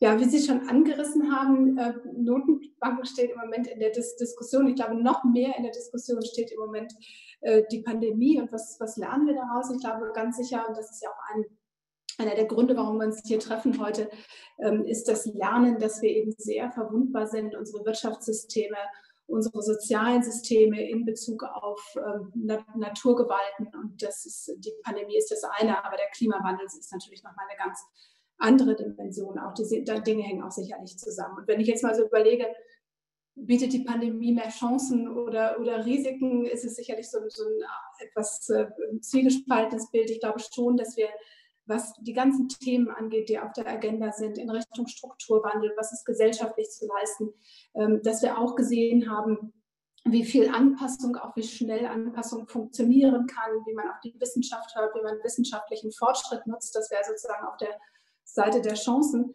Aber wir haben natürlich auch eine ganze Reihe von, von Risiken. Ähm, Strukturwandel habe ich eben schon erwähnt. Wir haben sicherlich nochmal einen sehr viel ähm, akzentuierteren Strukturwandel als wir das in der Vergangenheit gesehen haben. Die Geduld mit politischen Prozessen ist auch endlich. Auch das sehen wir im Moment so ein bisschen. Und, aber da sollten wir dann vielleicht in der Diskussion auch ähm, noch drauf kommen. Ich glaube, dass wir die Risiken für das Finanzsystem noch gar nicht wirklich gesehen haben. Und Sie haben die Geldpolitik erwähnt, aber ich würde da sogar in erster Linie die Fiskalpolitik nennen. Die Fiskalpolitik hat wirklich sehr, sehr viel getan, um die Realwirtschaft ähm, zu schützen und damit indirekt auch das Finanzsystem zu schützen. Das dürfen wir nicht vergessen. Also das ist schon auch ein Beispiel dafür, wie wirklich alle Politikbereiche agiert haben. Ich würde jetzt vielleicht so ein bisschen auf die Frage kommen, sollten die Notenbanken mehr tun und insbesondere in Bezug auf das Thema Klimawandel. Ähm, ich glaube, vermute mal, was sind viele Teilnehmer dabei, ich weiß nicht, ob sich alle einig sind, aber viele sind sich sicherlich einig, ähm, dass das Thema äh, Bepreisung von CO2 ein ganz, ganz zentrales ist, dass wir die relativen Preise, ähm, äh, dass die sich ändern müssen, dass das auch politische Entscheidungen sind, die da getroffen werden müssen. Wir alle wissen aber auch, dass äh, der Preismechanismus alleine nicht ausreicht. Wir brauchen, glaube ich, ein ganzes Bündel an politischen Maßnahmen ähm, und auch letztlich einen Wandel im, im Bewusstsein, damit diese Instrumente wirken können. Und wie Sie es eben schon gesagt haben, die große Frage ist eben, sollten nicht die Notenbanken mehr tun. Ähm, wir haben große Kaufprogramme, sollte man nicht versuchen, das sagen ja einige, mehr in grüne Investitionen zu investieren, ähm, sollte man nicht versuchen, auch wenn die Politik eben die relativen Preise nicht durch geeignete Maßnahmen ähm, in die richtige Richtung bringt, könnten dann nicht die Notenbanken ein bisschen nachhelfen, weil mit Preisen beschäftigen sich ja aber mit dem absoluten Preisniveau und nicht mit den relativen Preisen. Aber die Diskussion ist ja durchaus da. Und der Punkt, den ich heute eigentlich im Kern machen möchte, ist, dass ich nicht glaube, dass ähm, es sinnvoll ist, ich glaube sogar, dass es mit Risiken behaftet wäre, die Mandate der Notenbanken auszuweiten. Preisstabilität, Finanzstabilität, das sind ganz zentrale Mandate der Notenbanken. Ich glaube auch, dass man aber deren Rolle für die Bewältigung des Klimawandels gar nicht so gering einschätzen sollte. Also wenn man einmal das Thema relative Preisanpassung nimmt, was so zentral ist, um mit dem Klimawandel umzugehen, damit die relativen Preise, wenn die Politik die Entscheidung getroffen hat, demokratisch legitimiert, damit die relativen Preise wirken können, müssen die Marktteilnehmer diese Preisänderungen auch gut interpretieren können. Und dafür ist auch ein stabiles nominales Preisniveau ganz wichtig. Ich glaube, das haben wir so ein bisschen verlernt oder vergessen. Vielleicht ist es auch ein Präventionsparadox. Wir, wir haben seit langer Zeit in den entwickelten Volkswirtschaften sehr stabile Preise. Und das hilft eben auch, ähm, relative Preissignale richtig zu interpretieren. Das ist, was nicht, war leider bei dem früheren Panel nicht dabei, aber wenn äh, da die Kolleginnen aus den auch sich entwickelnden Volkswirtschaften berichtet haben, die haben ja zum Teil noch sehr viel mehr mit hoher Inflation zu kämpfen gehabt und können davon berichten, welche Verteilungswirkung da eben auch das hat. Und der zweite Punkt, ähm, bei den Notenbanken ein ganz wichtiges Mandat haben, das sind stabile Finanzmärkte. Wir haben ja nach der Finanzkrise ein neues Mandat den Notenbanken mitgegeben, nicht nur den Notenbanken, aber eben auch, ähm, sich um Finanzstabilität zu kümmern. Und ich glaube, das ist sehr, sehr zentral, um mit dem Klimawandel umzugehen. Wenn die Finanzmärkte nicht funktionieren, wenn wir da Risiken haben, wenn die Risiken nicht bepreist werden, wenn niemand da ist, der die Risiken vernünftig tragen kann, dann wird das ähm, die Bewältigung des, ähm, des Umgangs mit dem Klimawandel ähm, sehr, sehr schwierig. Also das heißt, stabile Preise, funktionierende Finanzmärkte, das sind unsere Mandate, sind ganz wichtig, sind sozusagen, wenn wir diesen langen Zeithorizont mal betrachten, über den sich Klimarisiken auch materialisieren, ist ein ganz wichtiger Kompass, den ähm, die Märkte brauchen, um funktionieren zu können, gegeben die politischen Entscheidungen, die natürlich da sein müssen. Jetzt will ich aber auch nicht so wirken, als würde ich sagen, alles ist gut und wir machen einfach so weiter. Es muss sich nichts ändern. Es muss sich immer was ändern. Wir leben in einer dynamischen Welt und ich glaube, es gibt eine ganze Reihe von Themen, wo wir innerhalb unserer Mandate besser werden können, wo wir genau diese Prozesse, die gesellschaftlich anstehen, noch besser mit unterstützen können. Da würde ich gleich gerne drauf kommen.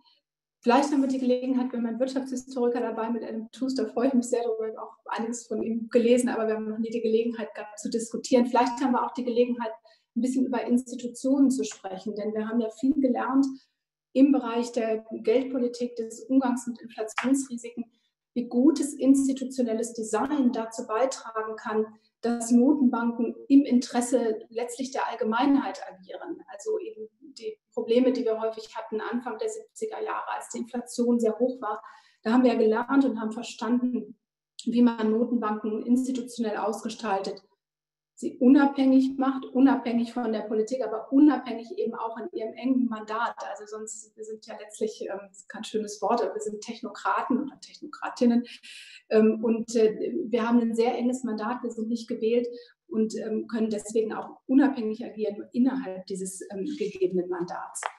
Und man hat auch nach der Finanzkrise eine Entscheidung getroffen, wie man institutionell mit Notenbanken und der Rolle für die Finanzstabilität umgehen will. Und da hat man entschieden, ja, die Notenbanken sollen eine ganz wichtige Rolle spielen für Finanzstabilität, aber eben nicht alleine, weil es so viele Politikfelder gibt, ähm, bei denen man eben eine demokratische Legitimierung braucht. Deswegen ist die Bundesbank ja in den Ausschuss für Finanzstabilität eingebunden. Wir liefern Analysen zu, aber immer wenn es dann darum geht, auch ähm, aufsichtliche makroprudentielle Maßnahmen umzusetzen, dann ist das nicht die Aufgabe der Bundesbank, sondern da die BaFin ist die technisch gesprochen die makroprudentielle Behörde. Ähm, also ich glaube, auch das ist ganz wichtig zu sehen, dass wir da nicht ähm, alleine agieren. Vielleicht kurz zu den Punkten, die reiße ich jetzt nur an, weil sonst sind meine fünf Minuten wahrscheinlich gleich, gleich rum. Kurz zu den Punkten, wie wir besser werden können. Also wie gesagt, meine Kernthese ist, wir tragen in unseren eigentlichen Kernmandaten viel bei dazu mit auch gesellschaftlichen Problemen. Ich habe jetzt ein bisschen am Klimawandel das festgemacht, aber es gibt ja viele andere Themen, damit gut umzugehen. Wo können wir besser werden? Ich glaube, wir müssen das Finanzsystem besser auf Strukturwandel vorbereiten. Wir können gerne ein bisschen diskutieren über das Thema Too Big to Fail und wie kann man die Finanzmärkte, die Bankensysteme robuster machen. Da haben wir gerade eine große Evaluierung dazu durchgeführt. Ich glaube, wir ähm, müssen auch besser werden darin, äh, Klimarisiken offen zu legen. Notenbanken können da auch ein ganz wichtiger Katalysator sein durch ihre eigenen Anforderungen, Anforderungen an Offenlegung und Disclosure. Wir müssen besser werden, was äh, Daten angeht. Ähm, mir wird manchmal vorgeworfen, ich will viel über Daten sprechen, aber Daten sind nun mal für viele der Themen, die wir haben, ein ganz äh, wesentlicher Rohstoff und auch da tragen wir einiges bei. Also wir haben ein Green Finance Dashboard, was wir entwickeln und wir müssen mit unseren Analysen ähm, besser werden, um wirklich auch Klimarisiken, andere gesellschaftliche ähm, äh, Themen auch mit abbilden zu können, ohne dass wir uns die dann, wie ich es gesagt habe, als Mandat, als Ziel zu eigen machen. Aber wir müssen natürlich transparent sein. Und vielleicht als letzte These, aber das wäre auch spannend zu diskutieren ähm, mit, den, äh, mit dem Panel, äh, vielleicht wir was lernen aus der Notenbank, äh, äh, aus dem Design von Notenbanken und der institutionellen Aufstellung für andere Themen, wo man mit ähnlichen Problemen umgeht. Unabhängige Institutionen schaffen, die ein klares Mandat haben, ähm, ähm, was aber auch dann begrenzt ist und in diesem Sinne dann auch wieder demokratisch ähm, verankert ist. Damit möchte ich schließen und freue mich auf die weitere Diskussion. Dankeschön. Ja, vielen Dank, Frau Buch. Da haben Sie ja jetzt schon einige Themen angesprochen, die wir auf jeden Fall auch äh, noch diskutieren wollen. Ich glaube, die Mandat Mandatsfrage ist auf jeden Fall zentral. Da kommen wir dann gleich noch drauf zu sprechen. Ähm, Herr Stetter, wollen Sie weitermachen? Ja, gerne. Herr Peters, Sie haben in Ihren Einführungen gesagt, die Notenbanken wären auch für die Vermögensungleichheit zuständig. Ich habe mich gewundert, dass Frau Bruno nicht widersprochen hat, aber in der Tat ist es so, wir haben nicht nur tiefe Zinsen wegen der Notenbanken. Es gibt auch andere Gründe für tiefe Zinsen. Aber die Notenbanken haben in den letzten Jahrzehnten, eigentlich seit den 80er Jahren, asymmetrisch gehandelt. Das heißt, sie haben immer wieder Spekulanten und Schuldner rausgehauen, um eine kleine Krise zu verhindern und haben damit einen Anreiz gegeben zu immer höherer Verschuldung und zu viel größerer Finanzinstabilität. Das ist das Problem, was wir jetzt haben. Und darum haben wir jetzt auch die Anfälligkeit des Systems. Frau Buch meinte, die Staaten haben gerettet, das stimmt. Aber natürlich hat sich die US-Notenbank FED letztes Jahr im März durch massive Intervention auch erstmal die Finanzmärkte gerettet. Das muss man auch ganz klar sagen. Das heißt, wir sind so ein bisschen in einer Situation, wo die Notenbanken schon lange eigentlich interveniert haben und uns auch ein bisschen in dieses Problem hineingeführt haben, was wir nicht haben, so viele Verschuldung, so hohe Verschuldung in der Welt. Kommen wir auf die Fragestellung eigentlich von heute rein, nämlich die Fragestellung, sollten Notenbanken jetzt quasi aktive, eine aktive Rolle in dem Kampf gegen den Klimawandel ähm, einnehmen? Und ähm, ich will Ihnen begründen, warum ich sage Nein und ich will sagen, was ich vermute, was dahinter steckt. Warum glaube ich Nein? Zum einen ist es so, wir haben schon sehr, sehr tiefe Zinsen. Und wenn wir jetzt hingehen und differenzieren, ob einer 0% Zinsen zahlt oder 1% Zinsen zahlt, wird keinen Einfluss haben auf Investitionsentscheidungen von Unternehmen. Unternehmen investieren, wenn sie Renditeerwartungen haben. Sie investieren nicht, wenn Geld billig ist. Weil wenn Geld billig ist und Investitionen wären hoch, müssten wir einen wahren Investitionsboom weltweit haben. Haben wir nicht. Das Zweite ist, ähm, dass wir davon ausgehen müssen, das Zinsniveau bleibt nachhaltig tief, jetzt in der Tat aufgrund der Rolle der Notenbanken, weil das verschuldete System keinen Zinsanstieg verkraftet. Das heißt, wir sind also in einer Welt, auf der wir zumindest von Notenbanken aus lange tiefe Zinsen haben werden. Ob sie es durchhalten werden, für Hintergrund Demografie, können wir sicherlich noch diskutieren. Und jetzt können wir sagen, okay, wenn wir die relativen Zinsen beeinflussen könnten, nehmen wir mal eine Notenbank, könnten sie beeinflussen, dass quasi grüne Unternehmen weniger Zinsen zahlen als nicht grüne Unternehmen. Was würde passieren? Die nicht grünen Unternehmen wären attraktiver für viele Kapitalgeber. Das heißt, das Geld würde hinfließen, Zinsdifferenz geht wieder weg. Außer man verbietet prinzipiell zu sagen, solche Anleihen zu kaufen. Das wäre der nächste Interventionsschritt. Problem an der ganzen Sache ist nur, dann kommen wir in, unter Umständen in einen Prozess, wo wir einen realwirtschaftlichen Wandel so stark beschleunigen, dass er noch gar nicht funktionieren kann. Also, wir investieren nicht mehr in Ölförderung, dann haben wir ganz plötzlich kein Öl mehr, dann haben wir kurzfristig ein Problem. Wir wollen langfristig kein Öl haben, aber wir brauchen über die Übergangszeit brauchen wir noch Öl. Das heißt, wenn zu früh nicht investiert wird, haben wir ein Thema. Dann kann man auch die Frage aufwerfen, was ist überhaupt grün? Jetzt hat die Bank für den Zahlungsausgleich einen Fonds aufgelegt und so weiter, kennen aber alle beispielsweise die sogenannten ESG-Fonds und stellen fest, was da drin ist, ist vielleicht nicht immer alles wirklich grün. Es kommt ein bisschen drauf an und verschiedene Fonds haben verschiedene Bestandteile. Jetzt will die EU das Vergleich, äh, vereinheitlichen in der Taxonomie, nettes Bemühen, aber muss ich ganz klar sagen, das führt auch zu einem Bias zugunsten von großen Unternehmen, die den Aufwand treiben können, sich ESG-konform zu, das Reporting zu machen. Kleinere Unternehmen haben sofort den Nachteil, dass sie es gar nicht können. Wollen wir das? Wollen wir große Unternehmen noch weiter fördern? Ich bin der Auffassung eher nicht. Das heißt, meines Erachtens ist eine Überfrachtung der Notenbanken, die eh schon genug Probleme haben. Und dann frage ich mich natürlich, warum kommt das jetzt? Sonst habe ich eine These, dann bin ich auch gleich mit meinen Ausführungen um. Ich habe eine These, dass es bei der ganzen Diskussion, wenn es auch die EZB zum Beispiel bringt und Frau, Frau Lagarde bringt, dass es eigentlich nicht um Klimaschutz geht, sondern es geht um eine politisch gut verkaufbare Begründung, offen in die Finanzierung von Staaten einzusteigen. Denn wer begibt jetzt die grünen Anleihen? Die EU begibt das grüne Anleihen, die Staaten begeben grüne Anleihen, die Bundesrepublik Deutschland. Das heißt, man sagt dann, die EZB hilft diesen Umbau der Wirtschaft durch die Finanzierung, also im Klartext kauft im großen Stil diese Anleihen auf. Das müsste sie sowieso tun, weil wir ein Schuldenproblem haben. Im Prinzip bekommen wir auf diese Art und Weise eine Begründung, die Thesen der Modern Monetary Theory einfach umzusetzen und wer kann dagegen sein? Und nicht mehr die Deutschen können dagegen sein, wo es der guten Dinge, der guten Sache dient, dem Klimaschutz. Wer könnte dagegen sein, wenn die EZB die Staat direkt finanziert? Das ist, glaube ich, was dahinter steckt. Das werden alle sagen, der hat Verschwörungstheorien. Nur ansonsten muss ich einfach sagen, die EZB hat, wenn sie das nicht tut, relativ gesehen überhaupt keinen Impact, was den Klimaschutz betrifft. Die einzige Möglichkeit ist, den Staat direkt zu finanzieren beim Umbau. Super spannender Beitrag, auch ähm, was man auf Englisch Monetary Financing äh, sagt. Bin ich gespannt, ähm, was Herrn Toos dazu sagt. Äh, vielleicht mögen Sie auch einen Satz noch ergänzen, warum Sie eigentlich so perfekt Deutsch sprechen als Brite. Das ist äh, für uns als Deutsche, glaube ich, immer spannend. Ja, perfekt, werden wir erst, erst mal sehen. Gerade zu solchen Themen, wo man nicht unbedingt, wo ich mich nicht unbedingt äh, gewisserweise eingesprochen habe wo mir das Vokabular zum Teil fehlt. Ich bin Mensch mit Migrationshintergrund, wie man sagt. Ich bin als Kind ausgewandert worden, auch von England nach Deutschland als sechsjähriges Kind und äh, habe meine, Jugend, in der Bundesrepublik verbracht und daher äh, in der Zwischenzeit ein bisschen eingerostet aufgrund mangelnder Übung. Aber, ähm, ja, ja, es ist faszinierende Diskussion und wir haben viel Zeit und wir machen jetzt gewisserweise nur den Einstieg. Ähm, und ähm, es gibt, glaube ich, als Antwort auf diese Frage zwei mögliche Ansatzpunkte. Und die Kollegen haben gewisserweise den ersten, den ersten Ansatz in zwei verschiedenen Formen, aber trotzdem den ersten Ansatz gewählt. Und ich würde den so beschreiben, dass wir eine institutionelle Struktur haben, unabhängige Zentralbanken, verschiedentlich ausgeführt. EZB ist ein Unikum in gewisser Weise. Ähm, alle anderen Staatsbanken, äh, Zentralbanken haben eine Geschichte, die auf die Geldfinanzierung äh, zurückzuführen ist. Das war ihre Rolle. Ähm, EZB ist anders strukturiert, Paradigma der unabhängigen Zentralbank gewisserweise. Eine Diskussion, die zwar eine Tradition hat, aber auch nicht mehr als ein halbes Jahrhundert alt ist. Diese Vorstellung, ähm, Geldstabilität als zentrales Bezugspunkt einer Zentralbank und das äh, gewährt durch Unabhängigkeit. Wie gesagt, EZB dafür im Paradigma. Und dann haben wir zusätzlich ein Problem. Und das zusätzliche Problem kann man verschiedentlich diskutieren, aber die minimalste Version davon ist dieses bestechende deutsche Wort Klimaschutz.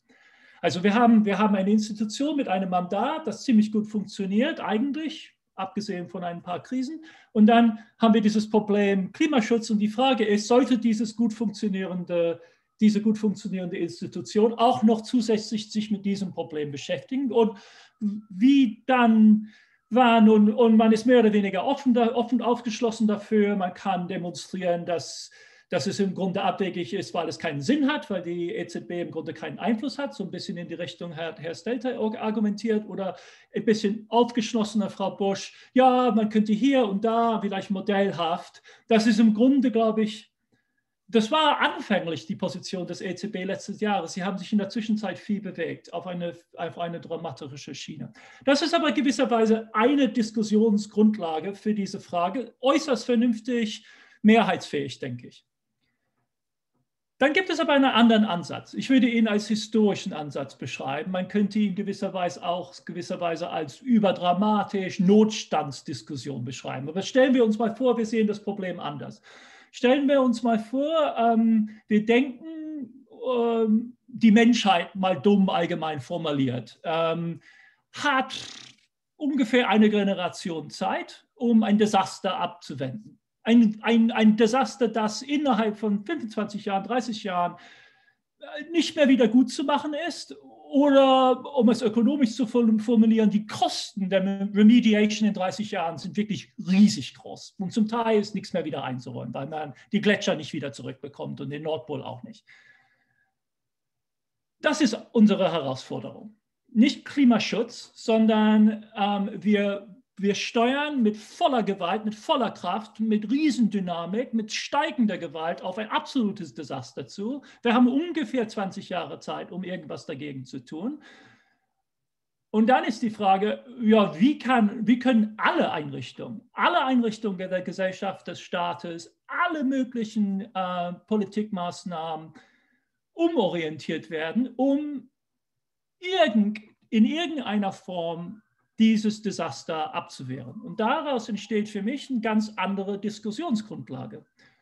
Es ist von vornherein dynamischer, dramatischer, herausfordernder und die, die, die Burden of Proof, also die Beweislast, ist umgekehrt. Es geht nicht darum zu fragen, ja, sollten wir als gut funktionierende Institution auch noch das hinzunehmen, denn es könnte unsere sonstigen Funktionen ja möglicherweise stören, sondern es, muss, es ist wirklich die Frage, alle Mann an Deck was können alle Einrichtungen tun, um dieses über, überwältigende Desaster abzuwehren?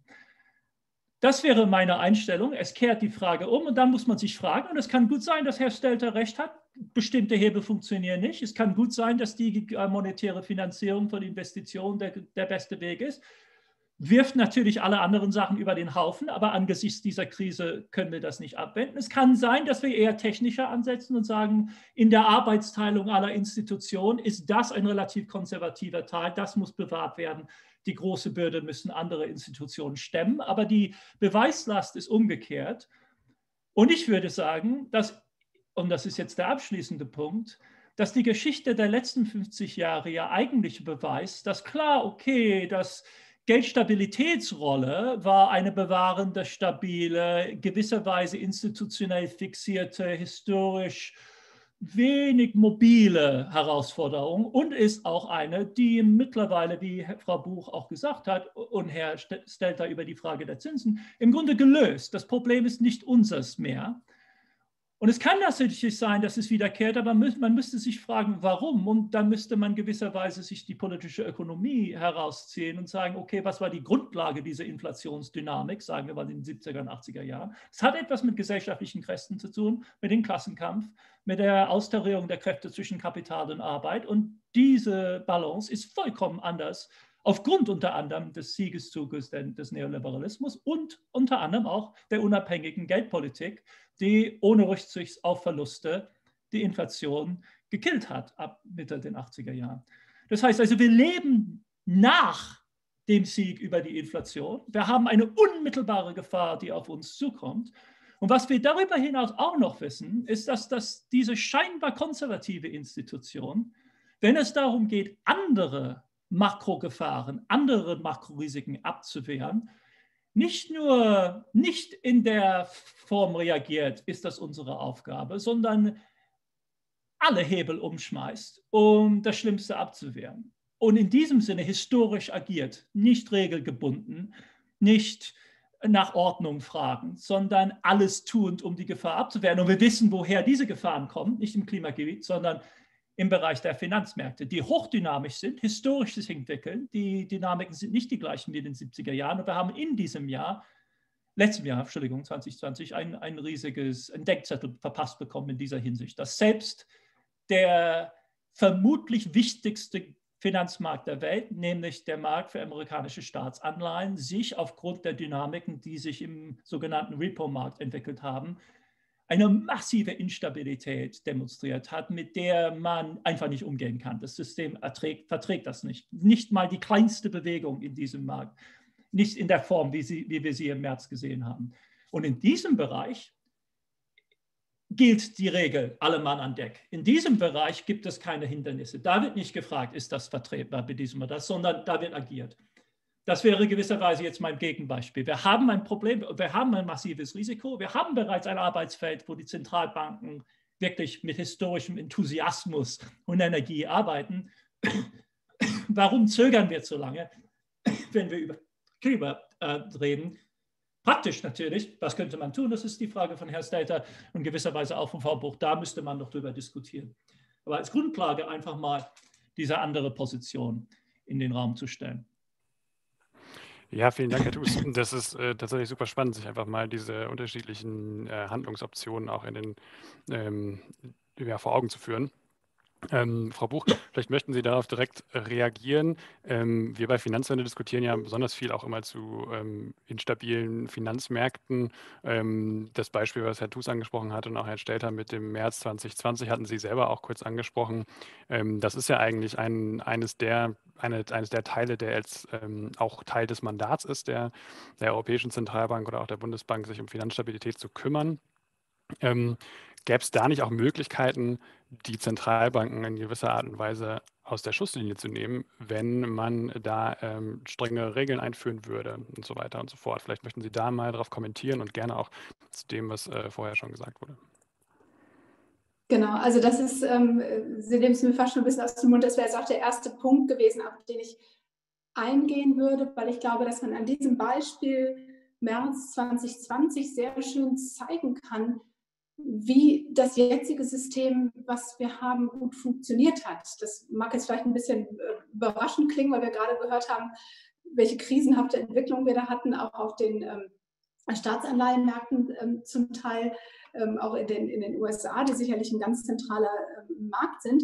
Aber wenn wir uns da mal deutlich machen, was passiert ist. Wir hatten, ähm, weiß nicht, wer von Ihnen vor zwei Jahren eine globale Pandemie auf dem Radar hatte. Es gab ja auch einen, Risikobericht, der in Deutschland erstellt worden war, wo man hinterher darüber diskutiert hat, hätten wir den nicht alle ernster nehmen müssen, so ein Szenario, was gezeichnet worden ist. Aber wenn man ganz ehrlich ist, das hatten wir so alle nicht auf dem Radar. Also es hat einen massiven globalen Schock gegeben, der wirklich alle Länder getroffen hat, der die Sektoren sehr unterschiedlich getroffen hat. Ich glaube, das muss man auch immer ähm, nach vorne stellen. Also unsere typischen Makromodelle, wo wir irgendwie uns Aggregate angucken, funktionieren da gar nicht so gut. Man muss schon sehr auf die Sektorebene runtergehen. Aber das Entscheidende ist global, sehr unerwartet und es hat wirklich alle gleichzeitig getroffen. Und wenn man mal so ein bisschen in der Sprache der Finanzmärkte denkt, das ist wirklich ein Schock, auf den man sich nicht wirklich im Vornherein gut hätte vorbereiten können. Also man kann sicherlich Risiken diversifizieren, aber das ist einfach ein Schock gewesen, bei dem das nicht gut ging.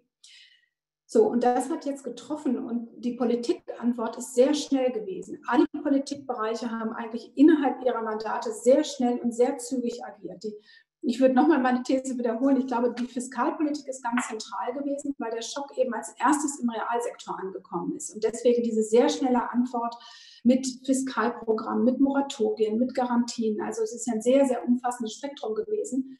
Ähm, letztlich um eine Liquiditätskrise abzuwenden, die es dann so nicht gegeben hat, ähm, weil eben diese Maßnahmen so schnell gekommen sind.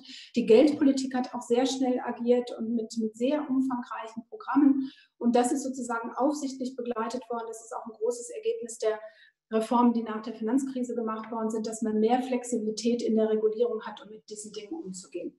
Und ja, es hat weil das natürlich alles nicht jetzt 100 Prozent gleichzeitig gekommen ist, hat es an bestimmten Märkten Spannung gegeben. Da hat dieses System, was ansonsten, denke ich, sehr gut zusammengegriffen hat, ähm, sehr gut funktioniert. Aber es hat kurzfristig diese Spannung gegeben. Dann kam natürlich auch schnell die geldpolitische Antwort. Wir sind jetzt dabei, auch in den internationalen Gremien das aufzuarbeiten und zu schauen, gibt es in dem Bereich, der da betroffen war, auch ähm, die Nichtbankenfinanzierung, die Money Market Funds, gibt es da Notwendigkeit, aus dieser Episode zu, zu lernen und mehr zu tun in Regulierung. Das ist, ich glaube, das ist auch das ähm, Interessante an Regulierung, dass man eigentlich nie damit fertig ist, sondern immer überlegen muss, gibt es neue Konstellationen, was kann man wieder lernen. Also von daher ist es eine wichtige Episode. Aber ich glaube, meine These wäre, das stelle ich einfach mal gegen das, was jetzt gerade äh, vorgebracht worden ist, was ich sehr spannend fand von Herrn, von Herrn Tuss. Wir müssen, äh, alle müssen dasselbe tun, alle müssen in dieselbe Richtung gehen. Meine These wäre, gerade diese Pandemiesituation hat gezeigt, in Situationen, in denen alle wirklich schnell dabei sind, ihre Aufgabe übernehmen, Resilienz im Finanzsystem, die größer war als vor der Finanzkrise, hat natürlich auch geholfen. In solchen Situationen ähm, funktioniert unser System eigentlich ganz, ganz gut. Und ähm, bei allen Schwierigkeiten, die wir nach vorne gerichtet noch haben, ist das auch erstmal ähm, ein positives Ergebnis in dieser Situation gewesen. Aber wir sind sicher nicht fertig damit, das ist ganz klar. Darf ich da noch einmal nachhaken, wenn Sie sagen, es funktioniert ganz gut, ähm, frage ich jetzt noch so ein bisschen provokanter. Ähm, Herr Thus hat sich damit ja auseinandergesetzt, auch mit der Rolle von, von Hedgefonds letztes Jahr im März 2020.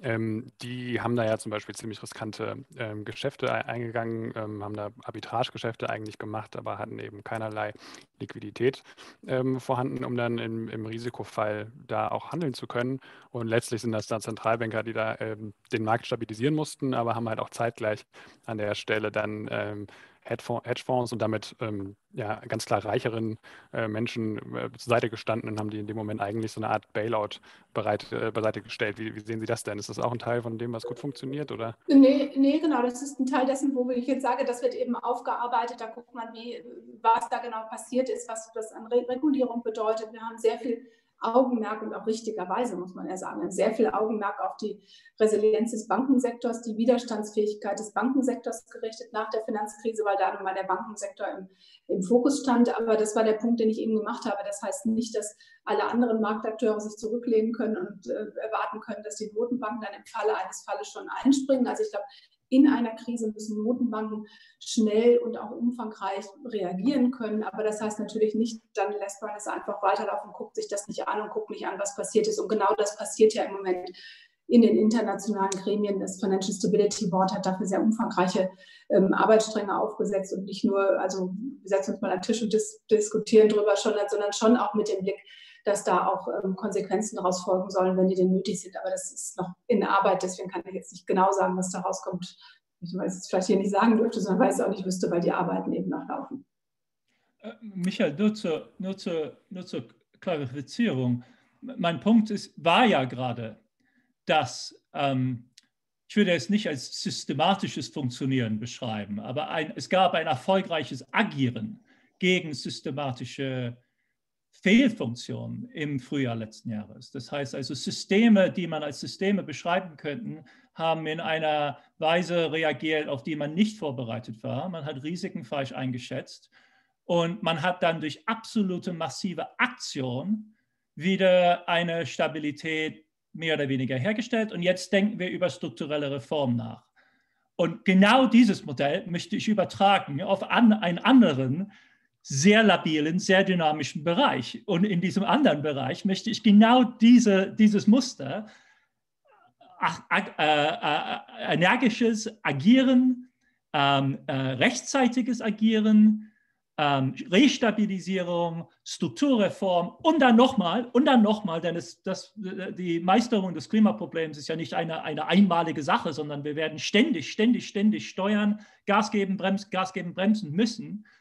Das ist genau das Modell, das ich anwenden möchte. Das heißt also, wenn Frau Buch sagt, es war ein Erfolg, dann werde ich ihr Recht geben und sagen, okay, genau deshalb möchte ich diese Steuerungskapazitäten, insofern sie relevant sind, und da müsste man noch darüber diskutieren, in welcher Weise sie relevant sein könnten, aber genau diese, äh, diesen, dieses aktionistische Modell einer Zentralbank, das viel mehr der Realität entspricht mittlerweile als ein ordnungspolitisch ansetzendes Denken, wo man sagt, es geht um Preisstabilität. Das ist Niemand betreibt so mittlerweile mehr eine Zentralbank. Das ist nicht das Problem.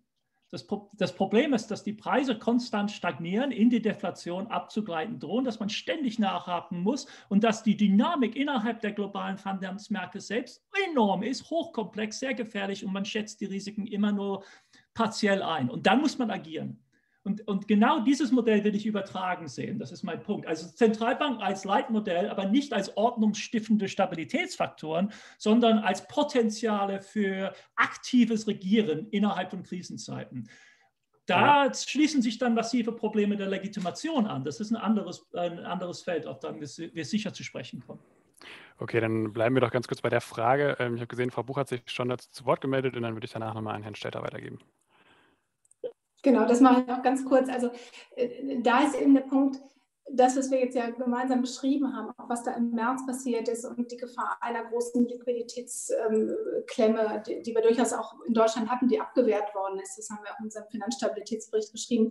Das ist aber auch alles äh, originäres Notenbankgeschäft. Also das, dieses andere Thema, über das wir sprechen, was ich ja von seiner Dimension her gar nicht ähm, verleugnen will im Umgang mit Klimarisiken, ähm, das ist nicht wirklich im Kern ein, ein Notenbankthema. Ne? Wir können das, wir können sozusagen durch unser Tun das begleiten, so wie ich es eben beschrieben habe, aber das ist, ähm, da brauchen wir halt schon auch die demokratische Legitimierung der Maßnahmen, die dann getroffen werden. Das können wir nicht einfach so machen, ne? abgesehen davon, ob unsere Instrumente da überhaupt reichen würden, aber das fehlt uns eben die, ähm, die entsprechende Legitimation. Ähm, okay, dann würde ich da jetzt einmal noch ähm, Herrn Städter zu Wort bitten und aber gleichzeitig noch eine Frage aus dem Publikum mit auf den Weg geben, die an der Stelle ganz gut passt, ähm, von Frau Daniela Gabor. Ähm, sie hat explizit nochmal an Frau Buch und auch Herrn Stelter äh, die, die Frage, ob ähm, denn die, ob sie denn mitgehen, dass praktisch die Zentralbankpolitik äh, eigentlich schon einen Bias drin hat, also einen, einen CO2-Bias drin hat und dass dadurch eigentlich diese, dieses ähm, Market Failure, also äh, da an der Stelle praktisch weiter geht, weil die Klimarisiken eben nicht, nicht eingepreist sind. Das hatten Sie am Anfang, glaube ich, auch gesagt, äh, Frau Buch. Und ähm, dass an der Stelle dann eben vielleicht auch nicht die Industriepolitik oder eben auch nicht Zentralbankunabhängigkeit äh, funktioniert, sondern dass es eigentlich von vornherein eine Art blinder Fleck ist, der, ähm, dem, der nicht, nicht wahrgenommen wurde. Ähm, ja, erstmal Herr Stelter, bitte. Oh Mann, Herr Peters, das muss ich ein bisschen ausholen. Also fangen wir erst einmal an. Ähm, ich, ich, ich, ich, nähere mich am Ende im Endergebnis bei der Folgerung nähere ich mich Herrn Thus an. Das würde ich nur vorausschicken, damit ihr euch gar nicht vorher aufregt. Aber fangen wir erst einmal an. Ich störe mich massiv mit dieser fast schon Heiligsprechung der Zentralbanken. Die Zentralbanken haben im März richtigerweise interveniert, richtig groß nachdem sie bereits in früheren Jahren interveniert haben, weil sie seit 1987 nichts anderes machen, als immer Spekulanten rauszuhauen. Und das Ergebnis ist, dass das System immer instabiler wurde, weil wir mit immer mehr Schulden arbeiten und mit immer geringeren Eigenkapitalquoten. Das heißt, die Zentralbanken haben durch ihre konstante asymmetrische Reaktion die Finanzinstabilität ausgehöhlt und nicht verbessert. Das alles andere ist ein Quatsch. Und wenn Frau Buch dann sagt, ja, wir müssen makropotenzieller Steuerung, also im Prinzip mit Regulierung müssen wir es korrigieren. Sie müssen sich so vorstellen, geldpolitisch immer auf dem Gaspedal und mit makropotentiell auf die Bremse. Das kann nicht funktionieren. Fahren Sie mal so Auto, wenn Sie gleichzeitig mit Vollgas fahren und voll auf die Bremse gehen, das geht auf die Dauer nicht gut. Und das ist das System, was wir haben. Und dann wird gesagt, ja, ja, weil Frau Buch, da muss ich jetzt echt lachen. Ja, wir, das, Finanz, das Finanzsystem war so viel mehr resilient jetzt na, als nach der als, als zur Finanzkrise. Na ganz ehrlich, Herr Thus sprach die Intervention an im US-Repo-Markt. Die fand aber bereits ab August 2019 statt. Da wussten nicht mal die Chinesen, dass es ein neues Virus gibt, weil damals waren nämlich schon die ersten Friktionen da.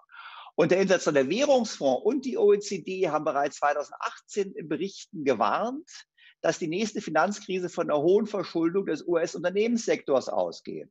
Was ist denn passiert nach der Finanzkrise? Das Geld wurde dazu genutzt, immer mehr zu spekulieren und die Unternehmen haben eigene Aktien auf Kredit gekauft. Wir haben im Prinzip eine totale, eine total Financial Engineering gehabt, angetrieben vom billigen Geld. Und es ist eine Illusion zu glauben, wenn Geld billig ist, dass man das durch Rahmenbedingungen und Regulierung irgendwie besteuern kann. Es liegt immer irgendwo raus. Das schwappt wie in einer Badewanne, wo ihre Kinder drin baden. Das Wasser spritzt raus und alle haben Spaß. Und dann ist halt ein Hedgefonds dabei. Und wenn dann das Kind draußen ausrutscht, das Bild weiter zu machen, hinkt ein bisschen. Dann kommt die rettende Notenbank und verhindert, dass das Kind den Kopf aufschlägt. Mit dem Ergebnis, das Kind macht noch mehr Wasserplatscherei. Das ist das, erleben. Also wir haben So, wir waren überhaupt nicht vorbereitet auf das Thema. Wir haben die, die Risiken potenziert durch Notenbanken. So, Jetzt kommt die Frage, helfen die Notenbanken mit, ihrem, mit ihren Handlungen, äh, sind die schlecht fürs CO2? Ja, das sind sie, weil sie natürlich künstlichen Konsum aufrechterhalten, den wir sonst gar nicht gehabt hätten, weil wir ganz andere Wirtschaftswachstumsraten gehabt hätten. Nichtsdestotrotz, ob jetzt eine, wissen Sie, ob jetzt Shell und BP einen Prozentpunkt oder zwei Prozentpunkt mehr Zinsen zahlen auf ihrem, auf ihrem Kapital, oder das ist fünf Prozentpunkte, it just doesn't matter. Und meine große Sorge ist, wenn wir jetzt über Geldpolitik oder Instrumente regeln wollen, dass wir dazu führen, dass man das Denken einstellt. Wir haben sowieso schon, die Notenbanken haben eigentlich das Denken an die Finanzmärkte schon eingestellt. Sie müssten ja nicht mal analysieren, eine Firma gut ist. Sie müssen nur glauben, dass die Märkte weiter steigen und ein anderer Dummer ihnen die Aktien im höheren Kurs abkauft. Sie müssen nicht wissen, haben wir gerade die Woche gesehen mit GameStop und so weiter und so fort. Das heißt, wir haben eigentlich eine Situation, wo wir gar nicht mit Geldallokationen steuern können. Wir müssen die Risiken richtig bewerten. Wir müssen wissen, wie groß ist das konkrete Risiko eines Unternehmens durch den Klimawandel, Schäden etc. etc. beziehungsweise durch die Maßnahmen im Klimawandel, weil bestimmte Anlagen obsolet werden. Sie haben Kohlekraftwerk, morgen ist es wertlos. Wir müssten also viel mehr dafür sorgen, dass wir die Fragen, die Unternehmen richtig stellen, damit diese Risiken auch nicht äh, transparent gemacht werden. Und alle mit Ratings und so weiter funktioniert das nicht. Das Denken wird eingestellt. Letzter Punkt, kommen wir zur Frage, Inflation, muss ich nochmal sagen, Herr Thus, richtig. Es war aber nicht unbedingt die Revolution des Neoliberalismus und der Notenbanken, sondern es war vor allem der Markteintritt Osteuropas und China in die Weltmarkt. Wir hatten einen riesigen Angebotsschock von Hunderten von Millionen von Menschen, die fleißiger waren als wir und für weniger Geld. Das ist einfach, das wirkt deflationär. Nur, das kippt jetzt, Herr Thus. Die, die China fängt an zu schrumpfen, wir fangen an zu schrumpfen, der Anzahl der abhängigen Beschäftigten geht hoch, weshalb eine Renaissance der Inflationsraten denkbar ist. Ich sage das nicht gleich morgen, aber denkbar ist. Und wenn wir das verbinden, das kommen wir mit dem Punkt mit der Politik jetzt, die sagt, wir haben diese große Herausforderung, Haken dran, wir müssen dringend handeln, Haken dran. Das heißt im Klartext, wir müssen massive Staatsausgabenprogramme fahren, wir müssen uns Geld in die Tasche geben für Elektroautos statt Verbrenner und was weiß ich alles. Das führt zu mehr Nachfrage, aber gleichzeitig schrumpfendem Angebot, führt endlich zu der unbedingt erwünschten Inflation. Und dann komme ich zu meinem Punkt wieder zurück. Klimawandel, ich glaube jetzt daran, ist es völlig egal, aber ich gebe trotzdem zu Protokoll, wenn es ihn nicht gäbe, müssten wir ihn erfinden, damit wir unser Schuldenproblem loswerden. Weil die Notenbanken nämlich sich selber in Situationen gemacht haben, die sind in der Sackgasse, die kommen da gar nicht mehr raus. Die sind wie der Zauberlehrling von Goethe. Die haben ein Monster an Schulden und Spekulation geschaffen und sie können es nicht unter Kontrolle bringen. Sobald sie es probieren, haben sie die nächste Finanzkrise.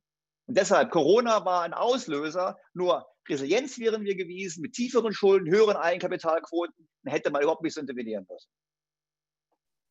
Okay, da kommt ein ganz zentrales äh, Finanzmarktthema wieder auf den Tisch und zwar äh, die Schulden- und Verschuldung, die eben auch äh, massiv gestiegen ist. Ähm, wir sehen ja auch, dass die Europäische Zentralbank äh, immer mehr Staatsschulden auf, auf ihre Bilanz nimmt. Ähm, und dadurch ja auch in gewisser Art Weise. Ganz kurz nur, es sind nicht bitte. nur Staatsschulden, es sind auch vor allem Privatsektorschulden. Also wenn Sie US-Unternehmen sind so hoch verschuldet wie noch nie. In Deutschland ist es nicht so ein Thema, aber es ist schon auch in den einzelnen Ländern. Wir haben es zu tun mit einem Gesamtschuldenproblem, es ist nicht nur ein Staatsschuldenproblem. Das stimmt auf jeden Fall. Aber also die Interventionen von Zentralbanken sind ja doch irgendwie zu, ich glaube, 90 Prozent dann immer Staatsschulden und eben nicht so viel. Auch das stimmt nicht. Im März, wo, Im März hat die Fed angefangen, Junk-Bond-Funds zu kaufen. Also die, die US-Fed hat massiv interveniert im Markt für private Unternehmensschulden, um dort, weil die Schulden schon vorher Triple B und schlechter waren, um dort eine Krise zu verhindern. Ich gebe es einfach weiter. Ähm, also ich, trotzdem sozusagen die Intervention ist hauptsächlich auf dem, immer noch auf dem äh, Government Bond Markt und eben nicht so sehr in dem, in dem Corporate Bond Markt. Da würde ich äh, schon ein bisschen widersprechen, aber das ist, glaube ich, auch nicht so relevant für die Diskussion, dass die Unternehmensschulden weltweit ähm, deutlich und massiv gestiegen sind. Das ist ja, ähm, ist ja unverkennbar. Ähm, Frau Buch, wie positionieren Sie sich denn da zu dieser Schuldenfrage?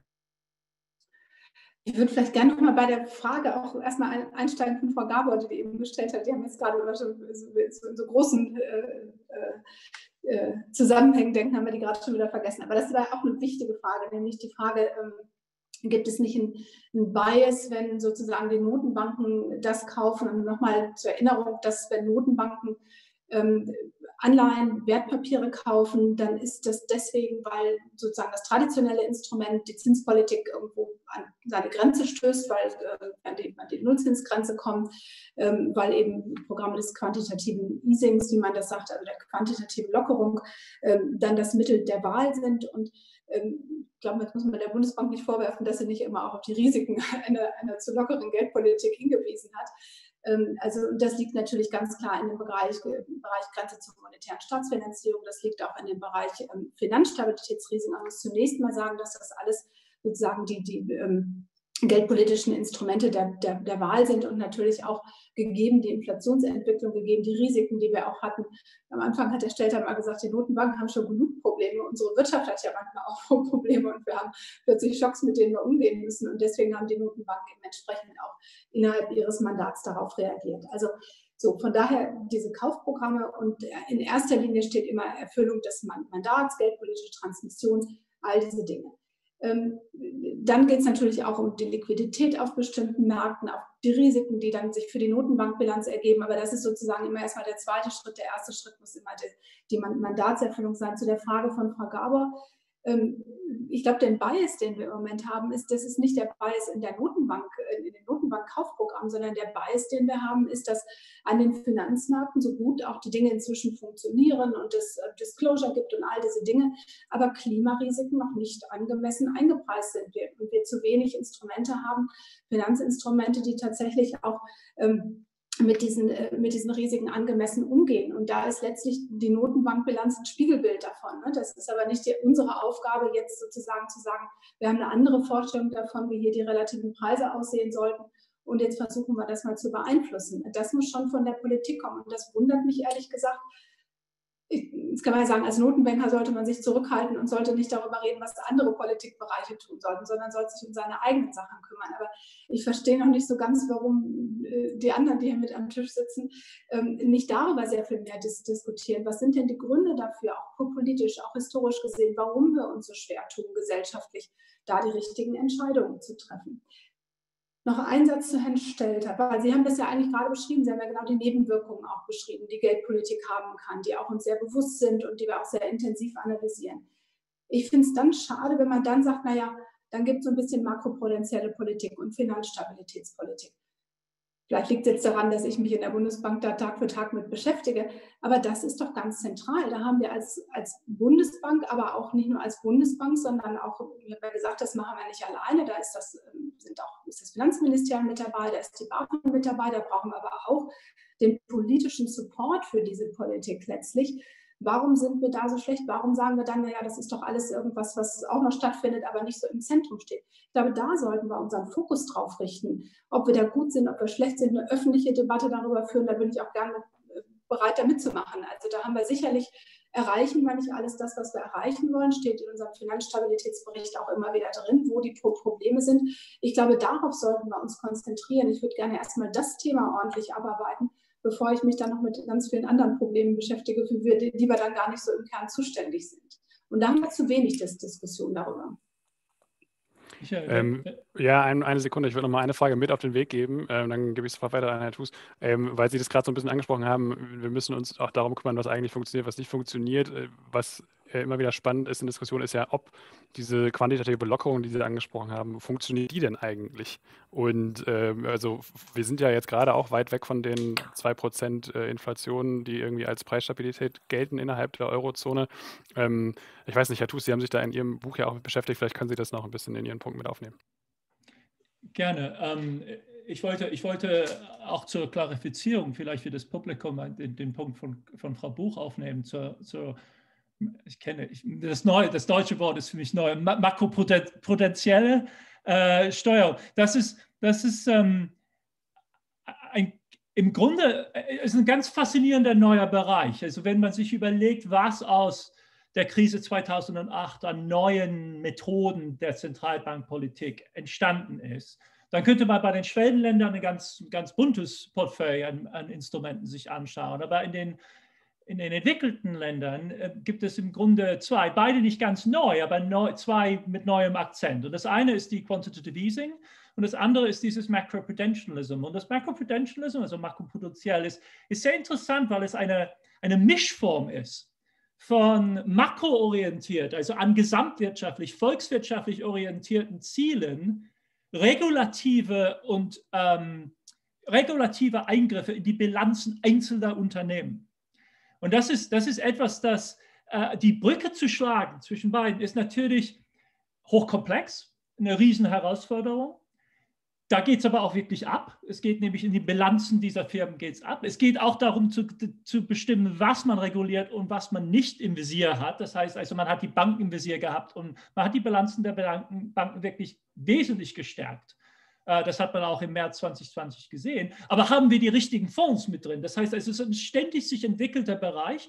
Und es ist im Grunde hochpolitisch, weil es da ans Eingemachte geht. Es geht da nicht um volkswirtschaftliche Bilanzen in irgendeiner abstrakten Form, sondern es geht darum zu wissen, welche Risiken zum Beispiel in der Bilanz von der Deutschen Bank drin stecken. Und die werden dann auch konkret hochgerechnet, runtergerechnet. Man macht Stresstesting über bestimmte Bilanzen und man kann mittlerweile Modelle bauen, in denen die Bilanzen heterogene, heterogene Bilanzen verschiedener Banken in das Makromodell einfließen.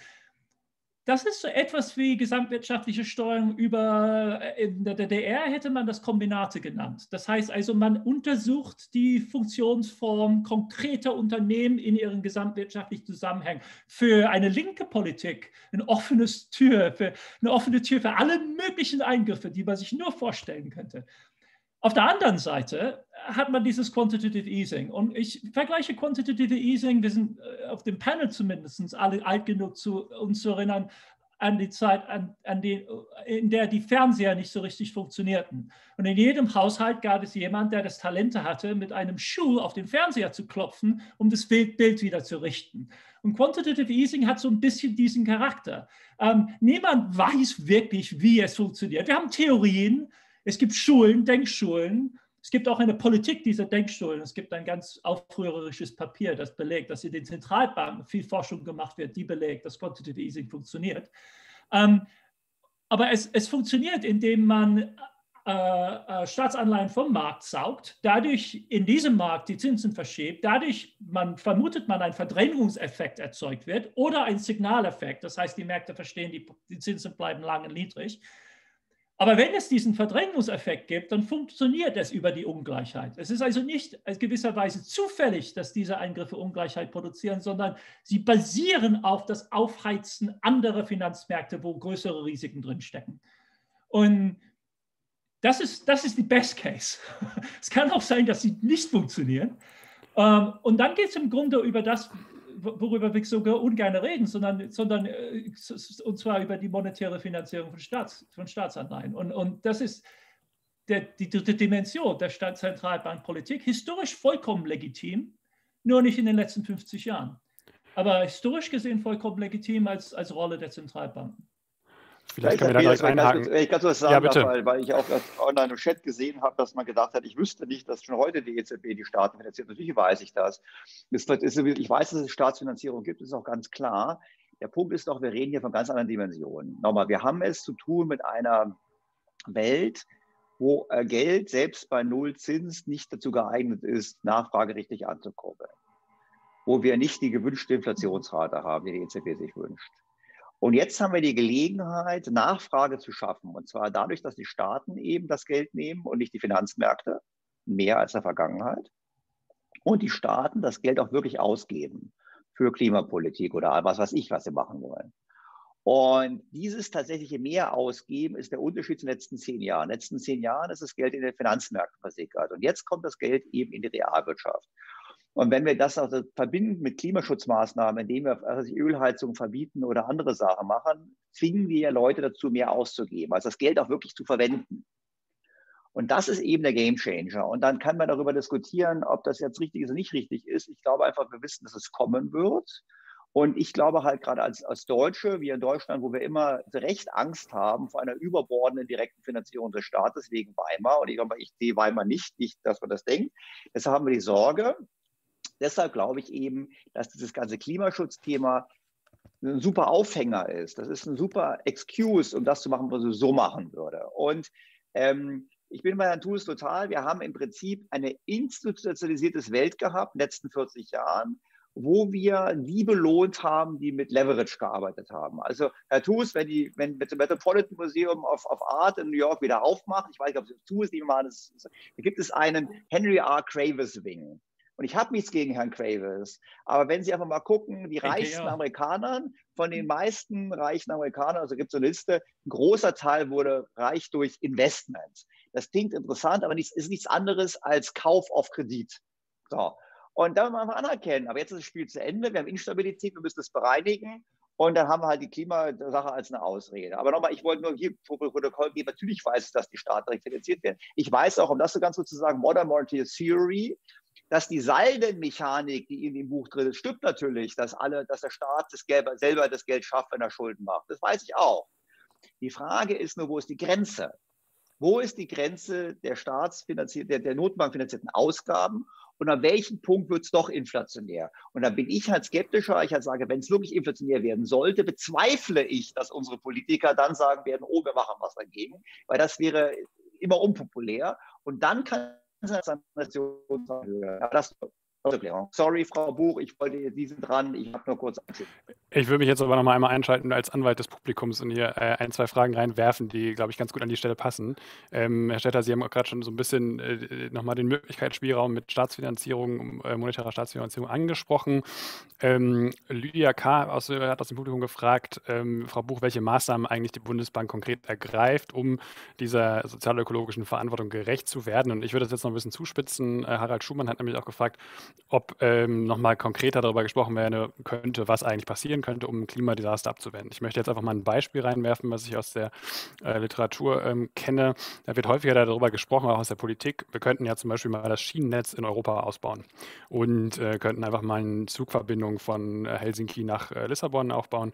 Und das machen wir über staatliche Förderbanken, zum Beispiel über die Europäische Investitionsbank, die, ähm, die diese Investitionen praktisch tätigt und die Europäische Zentralbank stellt sich hin und kauft diese Schulden. Das wäre jetzt dann mal, äh, kauft diese Anleihen. Das wäre jetzt mal eine andere Art und Weise, ähm, Geldpolitik zu machen. Da würden, soweit ich das verstanden habe, dann immer noch ähm, oder das Geld dann tatsächlich in der realwirtschaftlichen Investition ankommen.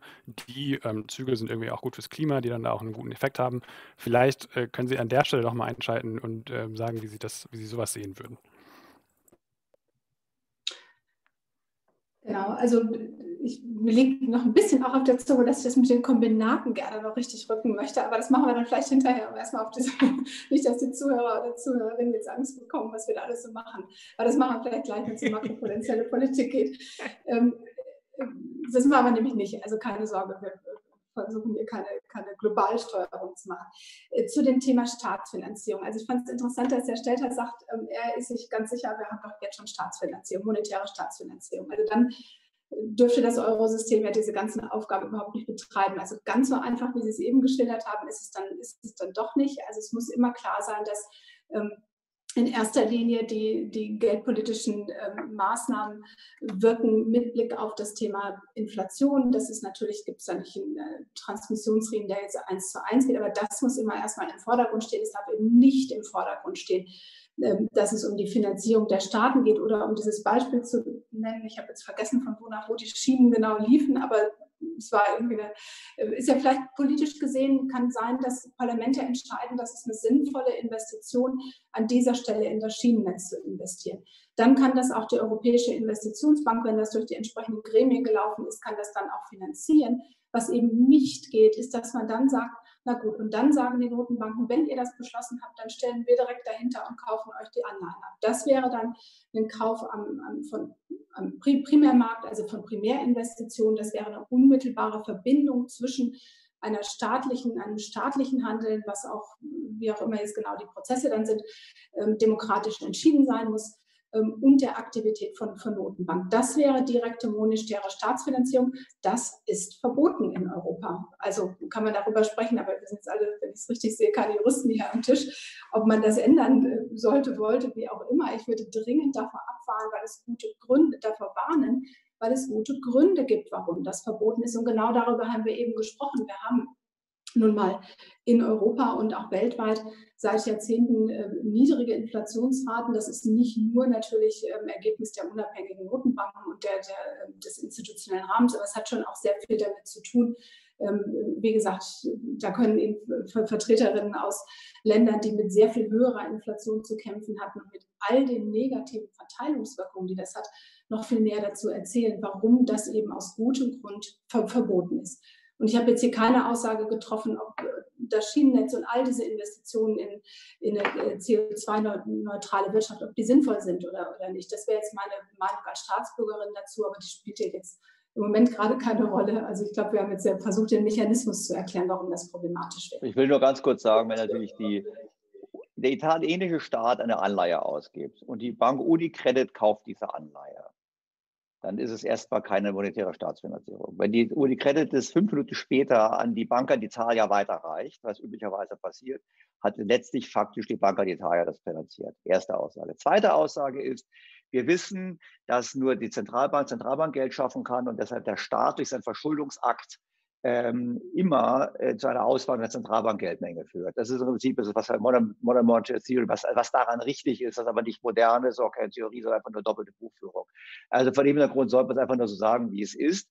Und die Frage ist ja nur, wenn wir jetzt sagen, wir haben eine große Aufgabe und die Notenbank soll sie finanzieren, haben wir mehr, werden wir mehr eine realwirtschaftliche Nachfrage haben. Wir können wir Bahnstrecken bauen. Ich würde vielleicht nur ganz kurz ein Protokoll geben. Ich bin überhaupt nicht gegen die Bahn das natürlich immer sauber rechnen muss, weil auch der Bau einer Bahnstrecke erzeugt CO2. Das ist so als kleiner Randaspekt. Zement und Stahl erzeugt auch CO2. Insofern, ob es dem Klimaschutz wirklich was bringt, ist ein anderes Thema. Aber nehmen wir mal an, was macht man? Ich bleibe dabei. Es ist einfach eine schöne Argumentation, um Dinge zu machen, die man eh machen wollte. Und für die Politiker ist das gut. Und wie gesagt, Frau Buch, ich will jetzt, ich sehe ja von der Bundesbank, ich würde ja niemals die Bundesbank kritisieren, um Gottes Willen. Ähm, ich glaube einfach nur, äh, die tiefe Inflationsrate der letzten Jahre war in der Tat nicht ihr Verdienst. Wenn man die Geldmengenausweitung und wenn man die Intervention in Notenbanken sieht, haben die Notenbanken eher immer versucht, eine vermeintliche Deflation zu bekämpfen, die eigentlich gesund gewesen ist, eben aufgrund der Tatsache, dass China und Osteuropa in den Markt eingetreten sind. Okay, vielleicht können wir dann da weitermachen an der Stelle. Ähm, Sie haben das ja gerade schon gesagt, ähm, Herr Städte, dass, dass die Staatsfinanzierung eigentlich schon so ein bisschen da ist. Ähm, Herr Thus, wie sehen Sie das? Ist das Staatsfinanzierung durch die Hintertür vielleicht mit dem, mit dem falschen Ziel, ähm, dass da private Akteure an Finanzmärkten gerettet werden? Und müsste man das nicht eher eben in öffentliche, realwirtschaftliche Investitionen äh, stecken? Ähm, die, die, für, mich, für mich ist die Staatsfinanzierung keine Prinzipienfrage, sondern eine Zweckmäßigkeitsfrage und ähm, die Frage, die man sich stellen muss, ist, erwartet man unter bestimmten Bedingungen angesichts eines bestimmten Nachfrageschubs Inflation oder nicht? Und wie, wie beurteilt man die Kosten dieser Inflation, die zwar groß sein mögen, aber nicht notwendigerweise überwältigend, vor allem wenn wir einen sehr hohen Schuldenspiegel haben? Ähm, ähm, wie wägt man diese Kosten ab gegen äh, den Vorteilen, die durch diese Ausgaben und möglicherweise auch durch die Inflation entstehen? Es sollte ein pragmatischer Diskurs über diese Fragen möglich sein, der nicht äh, einfach ein, äh, verwiesen wird auf die Juristen. Es sind politische Fragen im Grunde. Es gab politische Gründe, um diesen Verbot zu verankern in Europa. Die politischen Gründe sind meiner Meinung nach jetzt überaltet. Äh, wir stehen vor riesigen Herausforderungen und man kann das auch über Umwege machen und man kann sich aus pragmatischen Gründen entscheiden, dass es jetzt nicht sinnvoll wäre, diese Frage in Europa gerade aufzuwerfen, weil man in verschiedenen Ländern einen Herzinfarkt erleiden würde. Es geht auch über Umwege, wie Herr Stelter es erläutert hat. Wir machen also weiter damit. Aber Fakt ist, dass die FT gerade vor einer Woche, glaube ich, eine Grafik veröffentlicht hat, die sehr schön zeigt, dass die gesamte Schuldenausgabe des britischen Staates in diesem Jahr, letzten Jahr, durch die Bank of England gedeckt worden ist. Die Bank of England bestreitet natürlich, dass das eine, eine absichtliche äh, monetäre Finanzierung ist. Sie haben lauter andere Gründe dafür, aber de facto äh, lief es genau, wie Herr Stater es beschrieben hat. Und, und Herr Sie sind ja Historiker. Ich meine, das lief auch ja. nach dem Zweiten Weltkrieg so. Großbritannien, USA. Ja. Nur, was wir, nur eins müssen wir gemeinsam dann schon sagen, nämlich, es, there's no free lunch. Man muss ganz klar sagen, wir haben jetzt diese große Aus wir haben dieses große Projekt vor uns. Wir wollen ein paar tausend Milliarden für den, gegen, den, gegen den Klimawandel ausgeben. Wenn wir die jetzt komplett drucken, dann zahlen das Wert, wird die Währung an Wert verlieren. Das heißt, das zahlen alle, die Geld halten. Erhöht, erhöht die Ungleichheit. Wenn wir es über Steuern finanzieren würden, wäre das wahrscheinlich politisch nicht nicht durchsetzbar. Wir müssen nur eins wissen, es ist nicht Free. Das heißt nicht, wir können alle sagen, super, die EZB druckt alles oder sowas und das ist kein Thema, sondern wir haben natürlich eine Verteilungswirkung. Äh, ich meine, es gibt zwei verschiedene Probleme. Es gibt, es gibt Free man, man muss sie finden und man muss sie ausnutzen, sonst gäbe es kein Wirtschaftswachstum. Und vor allem geht es ja darum, dass man uns das Lunch wegnimmt und die Frage ist, ob wir überhaupt noch zum Essen kommen in 20 oder 30 Jahren. Es geht also um die Lunches und die, die Freedom dafür. Und das Verteilungsproblem ist nochmal separat meiner Meinung nach, hat auch Kosten und muss mit, mit, mit, mit berechnet werden. Ganz konkret, wenn man sich auf dieses Deal einlässt, wo man zum Beispiel jetzt die äh, Anleihen von den Banken wegkauft, entstehen bei den Zentralbanken Bilanzen in Namen der Banken, die dann auch mit Zinsen bedient werden müssen. Das heißt also, man erlastet nicht mal unbedingt den Zinsetat durch diesen, durch diesen Handel. Was man tut, ist, bestimmte Werte vom Markt zu saugen, einen Effekt dafür zu, zu, zu schaffen und Nachfrage für diese Schulden zu generieren. Aber über die Zentralbankbilanz werden dann zum Teil auch Zinsen bezahlt werden müssen. Aber insgesamt, äh, auf Michaels Frage zurückzugehen, es ist nicht, es ist im Grunde keine sehr dramatische Frage.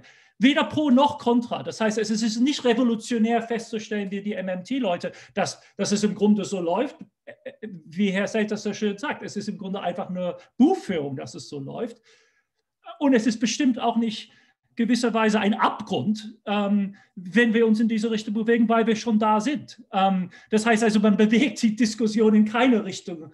Äh, ähm, worum, worum, es gehen müsste, ist den Freiraum zu schaffen. Und das ist bestimmt auch Daniele Gabo hat das in einem neuen Bericht äh, sehr schön formuliert. Es geht darum, gewisserweise einen sinnvollen Raum zu schaffen für einen demokratischen Diskurs über die Zwecke einer solchen Politik und, welch, und wem es nutzt. Denn das System im Moment sieht aus wie eine keynesianische äh, monetäre Finanzierung für Fiskalpolitik, aber im Grunde, wie Herr Stelter äh, es so, so, schön beschrieben hat, geht es ja auch ständig darum, gewisserweise neue, neue, diesen neuen Schießpulver einzuführen in das Finanzsystem, das damit äh, seine Aufblähung auch weiter betreibt. Das wird auch befördert durch diese Politik. Richtig. Vielleicht, vielleicht eine Satz, Herr Peters, aber nicht wir haben ein Problem, weil ich habe jetzt gerade gesehen, was hier die Fragen waren und nach dem Motto, wie kann man das machen? Wir haben natürlich in Europa ein Problem, dass wir in Europa eine Nationalbank haben für verschiedene Nationen. Eine Zentralbank für verschiedene Nationen. Eine Zentralbank für verschiedene Nationen, das ist das Problem. Und das heißt, wir haben es immer zu tun mit einer Verteilungswirkung des Handels zwischen den Mitgliedsländern.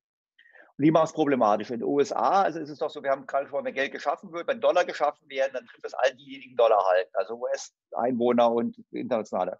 In Europa haben wir sofort eine Verteilungswirkung zwischen den Ländern. Das macht es einfach problematischer. Und deshalb brauchen wir eine Antwort darauf. Weil sonst haben wir hier einen Spaltpilz, wenn quasi, ähm, weil der Schaden, der Nutzen und der Schaden unterschiedlich anfallen. Das ist ein Unterschied zu den anderen Ländern. Ich würde jetzt gerne mal versuchen, wieder auf ein, ein paar einzelne Fragen zurückzukommen, damit wir nicht zu sehr, ähm, wie man auf Englisch sagt, all over the place äh, sind. Im Publikum gab es noch mal ein paar Fragen dazu, die wieder in die Richtung gehen, was können Zentralbanken denn eigentlich machen? Und ich würde da jetzt mal ein bisschen die Mandatsfrage einfach mal ausklammern, um die Diskussion vielleicht ein bisschen zu erleichtern und sagen, okay, wir bleiben jetzt innerhalb des, des Mandats, das wir gerade haben, ähm, mit Preisstabilität. Und trotzdem gibt es ja Verzerrungen bei, bei Geldpolitik, ähm, Frau Buch. Also wir sehen ja trotzdem, dass sich eben CO2-intensive Sektoren günstiger ver, ähm, verschulden können am Finanzmarkt, weil sie günstigere, ähm, also sie verhältnismäßig stärker vertreten sind an äh, den an den Finanzmärkten und ähm, die Carbon Bias, Herr Stelter, wir können da gleich auch gerne eine Studie von äh, Positive Money nochmal reinstellen oder die Studie von New Economics Foundation, ist kein Problem. Aber da ähm, ist tatsächlich sind die Corporate Purchase Programs der äh, Europäischen Zentralbank, die haben einen CO2-Bias. Und genau so, das ist nochmal die zweite Frage, möchte ich jetzt nochmal aufmachen, ähm, um das Thema Ungleichheit nochmal einmal anzusprechen, die, ähm, was wir eben schon äh, vorhin schon mal hatten, wo es darum geht, dass eben die, äh, die Aktienpreise gerade stark steigen und die Immobilienpreise stark steigen und die Geldpolitik damit eben auch an ganz unterschiedlichen Stellen ähm, drauf geht. Die Frage ist auch so, können, können das nicht eigentlich auch die äh, Zentralbanker zumindest äh, darauf aufmerksam machen und dann diese Verzerrungen auch einschränken? Weil das ist doch der Punkt. Sie, sie sagen, ähm, sie müssen Preisstabilität machen, okay, aber sie können sich ja zumindest ähm, offen darüber kommunizieren, welche Verzerrungen äh, stattfinden und ähm, wie sie die auch einschränken können. Und dazu gibt es ja auch konkrete, konkrete Maßnahmen, wie man zum Beispiel ja, das Corporate QE greening könnte. Genau, ich, ich steige mal an, weil ich irgendwie mich so ein bisschen angesprochen fühle gerade. Ähm, ich würde gerne auf den Punkt kommen, ähm, den Herr Stelter eben gemacht hat, den ich sehr spannend fand und der, glaube ich, ähm, den wir uns alle immer wieder vor Augen führen müssen. Wir haben eine einheitliche Geldpolitik in Europa, ja, und wir haben aber sehr viel und auch aus guten Gründen nationale Zuständigkeit für alle möglichen Themen, Teile auch der Klimapolitik, was möglicherweise ein Problem ist, weil wir da brauchen wir eigentlich, also wir brauchen mindestens eine europäisch koordinierte ähm, Klimapolitik, aber auch noch darüber hinaus. Aber es gibt ja ganz viele andere Themen, wo auch durchaus Sie haben Immobilienmärkte angesprochen, die eine sehr starke regionale Dimension auch haben oder länderspezifische Dimension haben. Also diese einheitliche Geldpolitik, die irgendwo auch den Rahmen setzt ähm, über die über die Zinsen, wobei eine kleine Nebenbemerkung zu Herrn Stelter, es sind nicht nur die Notenbanken, die die Zinsen setzen, sondern, äh, das wissen Sie auch, ähm, es gibt natürlich, der Zins gibt, ergibt sich Habe ich am Eingang schon gesagt, habe ich am Eingang genau, schon gesagt. Also es klang am Anfang mal so ein bisschen so an. So. Aber die Geldpolitik setzt da möglichst einheitliche Rahmenbedingungen und es gibt ganz viele andere Gründe, aus denen Risiken entstehen können. Einmal, wir haben über die Klimarisiken gesprochen, aber Risiken für die Finanzstabilität haben wir natürlich auch aus ganz anderen Gründen. Und darum hat man eben kommen nochmal auf diesen Punkt der Finanzstabilitätspolitik oder makropotenziellen Politik, wo es eben gerade nicht darum geht, eine Detailsteuerung einzelner Institute zu machen, sondern genau das System im Blick zu haben. Wo entstehen da eigentlich Risiken? Wo können Ansteckungseffekte entstehen? Wir haben über die Banken und die Nichtbanken gesprochen. Wo sind da die Schnittstellen? Durchaus ein, ein heterogenes Finanzsystem ist ja gut, weil dann gibt es unterschiedliche Akteure, die auch unterschiedlich agieren, unterschiedlich Risiken ausgesetzt sind. Aber wir haben eben auch Situationen, dass plötzlich alle in dieselbe Richtung laufen, alle einem ähnlichen Risiko ausgesetzt sind oder dass wir große Institute haben. Wir haben eben über Too Big to Fail gesprochen, ähm, die dann zu einem Risiko für die Finanzstabilität sein werden können. Und deswegen meine These, dass wir damit gut umgehen. Und da haben die Notenbanken eine ganz wichtige Rolle. Nicht alleine, aber eben eine ganz wichtige Rolle. Dass wir mit diesen Risiken gut umgehen, ist gerade in Europa so besonders wichtig, weil wir eben eine sehr unterschiedliche, sehr unterschiedliche Präferenzen, Politiken, Institutionen in den einzelnen Ländern haben. Und deswegen ist eben genau das wo wir sehr aktiv sind, einmal national, also dieses makropotenzielle Mandat, was zugegeben ein unglaublich sperriger Begriff ist, das ist ein nationales Mandat. Das ist unsere Aufgabe, uns darum zu kümmern, dass unser Finanzsystem so stabil ist wie möglich, dass ähm, ähm, äh, wir ausreichende Kapitalpuffer im System haben und so weiter. Und es gibt eine sehr enge Koordinierung in Europa, weil wir natürlich wissen, dass Risiken nicht an den Grenzen Halt machen. Also ich glaube, genau aus diesem Grund, der genannt worden ist, ähm, ist es so wichtig, dass wir eben in dem Bereich ähm, aktiv sind und das ist eine wichtige Rolle der, der, Notenbanken. Also das ist vielleicht ein bisschen untergegangen, weil wir viel über Geldpolitik gesprochen haben. Das ist unser zweites großes Standbein, das wir auch seit der Finanzkrise oder seit 2013, 2014 in Deutschland haben. Ähm, und das ist so wichtig, auch ganz kurz. Es ist nämlich nicht nur die Notenbank, die Geldschöpfung betreibt, sondern die Banken betreiben Geldschöpfung über den, äh, die Multiplikatoreffekte, die wir alle in unserem Makro 1, 1, 1 Vorlesung gehört haben. Aber das ist eben wichtig zu wissen. Es ist ganz wichtig, gerade in Europa, dass das Bankensystem stabil ist ähm, und wir da ausreichend Puffer auch im System haben. Vielleicht könnten wir noch ein bisschen über Regulierung dis diskutieren und was da auch zu tun ist, dass wir da wirklich darauf achten, dass auch in dem Sinne das Finanzsystem gut für die Risiken, für den Klimawandel, für den Strukturwandel gewappnet ist. Das ist, glaube ich, sehr wichtig, gerade in Europa.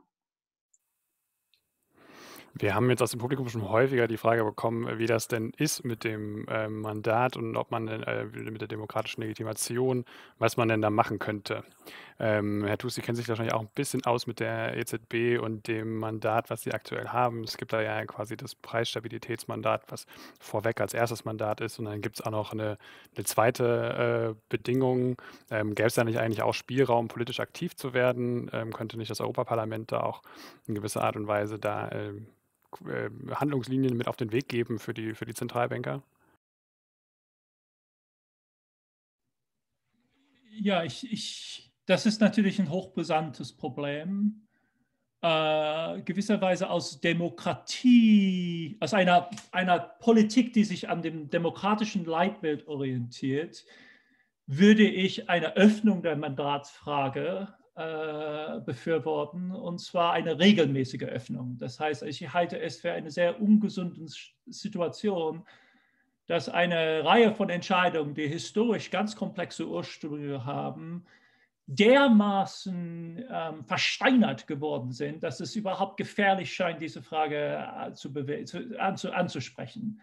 Das halte ich für ungesund. Es mag sein, dass, dass daran nichts zu machen ist und dass andere Probleme dringender sind, aber es beschränkt die Demokratie, sollte man klar sein. Äh, die, nicht nur, dass wir uns in gewisser Weise entschieden haben, sondern dass es unmöglich erscheint, diese Frage neu zu eröffnen. Und zwar gefährlich erscheint und explosiv, gerade auch aufgrund der Themen, die Herr Stelter so richtig angesprochen hat, gewisserweise. Das wird dann sofort zum verteilungspolitischen Problem, nicht nur zum politischen Problem innerhalb Europas. Und man, muss, man, man, man darf natürlich auch nicht davon ausgehen, dass sollte man diese Frage öffnen, dass gewisser, gewisserweise alle progressiven Kräfte irgendwie, wie man sich das vorstellt, schön beisammensitzen und sich einig sind, was wir als nächstes tun. Und es kann natürlich sein, dass eine dass zum Beispiel ein nationaler, nationaler Postpopulismus sich dieser Frage ergreift. Und dafür gibt es Ansätze. In Frankreich gehörte die Front National zeitweise zur zur kritischen Front gegenüber des EZB. In Ungarn hat man das eben auch gesehen. Das heißt, wenn man von progressiver Seite kommt und sagt, wir wollen die Mandatsfrage stellen, dann, dann muss man auch taktisch erwägen, ob man glaubt, in der Situation zu sein, die, die sich daraus ergebende Diskussion zu gewinnen. Ähm, aber historisch gesehen ist, ist, ist, ist die Situation Europas relativ einmalig in dem Sinne, dass man sich einfach verfahren hat in einer dogmatisch kleinkarierten Konstruktion dessen, wofür Zentralbanken gut sind. Das amerikanische Mandat, das Fed hat auch ein Mandat, ist viel offener, ist dreibeinig mindestens und Vollbeschäftigung, mindestens maximale Beschäftigung gehört dazu. Und das öffnet gewisserweise das Spektrums und die Amerikaner sind nicht, ich meine, wir sind alle Gefahren auf diesem Schiff, das sich durch diese Öffnung des Fed-Programms ergeben haben. Also Mandatsfrage ist, ist für mich praktisch, äh, ähm, und was wir sehen im EZB im Moment, ist gewisserweise ein Willen, das Mandat, auch das gegebene Mandat, maximal auszuweiten. Und das ist natürlich auch eine Möglichkeit. Da muss man, bemüht man clevere Juristen und bemüht die Politik und wie Herr Stater angedeutet hat, geht auch pragmatisch mit bestimmten Themen um, um gewisserweise Schienen zu schaffen für, für Aktivismus. Und es kann sein, dass man auch so mit zurechtkommt. Aber man sollte dies als eines der festgefahrenen ähm, ähm, Hindernisse in uns, vor allem in der europäischen Demokratie, sollte man, man sollte sich dessen, glaube ich, bewusst sein, wie, wie, wie schwierig es ist, gerade diese Probleme anzugreifen, weil potenziell die Geldpolitik eines der großen Instrumente einer modernen Gesellschaft, einer modernen politischen verfassten Gesellschaft sein sollte. Auch als kreatives Mittel, nicht nur als Beschränkung. Also ähm, vielleicht ganz kurz nochmal zur Ergänzung. Also es ist so, das Mandat der EZB, ich bin jetzt kein Jurist, ich habe es auch nicht wörtlich im Kopf, aber es ist so in der Tat, die Preisstabilität ist das erste Ziel, aber die EZB hat weitere Ziele. Da steht explizit drin, sie soll irgendwie so den Fortschritt der Union fördern oder irgendwie sowas. Da kann man alles drunter verstehen. Also der Union also eigentlich kann die EZB schon eine ganze Menge machen. Erstens. Zweitens, wir hatten zwar die Klage in Deutschland vom Bundesverfassungsgericht, aber eigentlich hat die Klage ja dazu geführt, man musste besser begründen, dann kann man es machen. Also ich glaube, die Deutschen glauben immer an die Juristen, die Kraft der Juristen. Ich glaube, wir haben eigentlich in den letzten zehn Jahren in, äh, in der EU sehr gut im Rahmen der vielen Euro-Krisen lernen können, dass die Verträge geduldig sind. Im Zweifelsfall macht die Politik eh was anderes, was ich übrigens kritisch sehe. Also äh, Solidar Schulden, Schulden, also egal, Solidaritätsfonds Europa etc. etc. Kann man äh, separate Diskussion.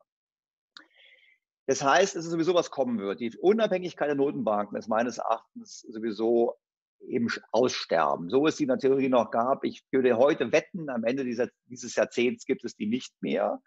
Ich würde es aber verbinden, verbinden damit auch, dass am Ende des Jahrzehnts wird auch die, werden auch die Notenbanken demystifiziert sein. Man wird sie viel kritischer sehen, als man sie heute sieht, an dem, was alles vor uns liegt mit den ganzen Problemen, die entstanden sind.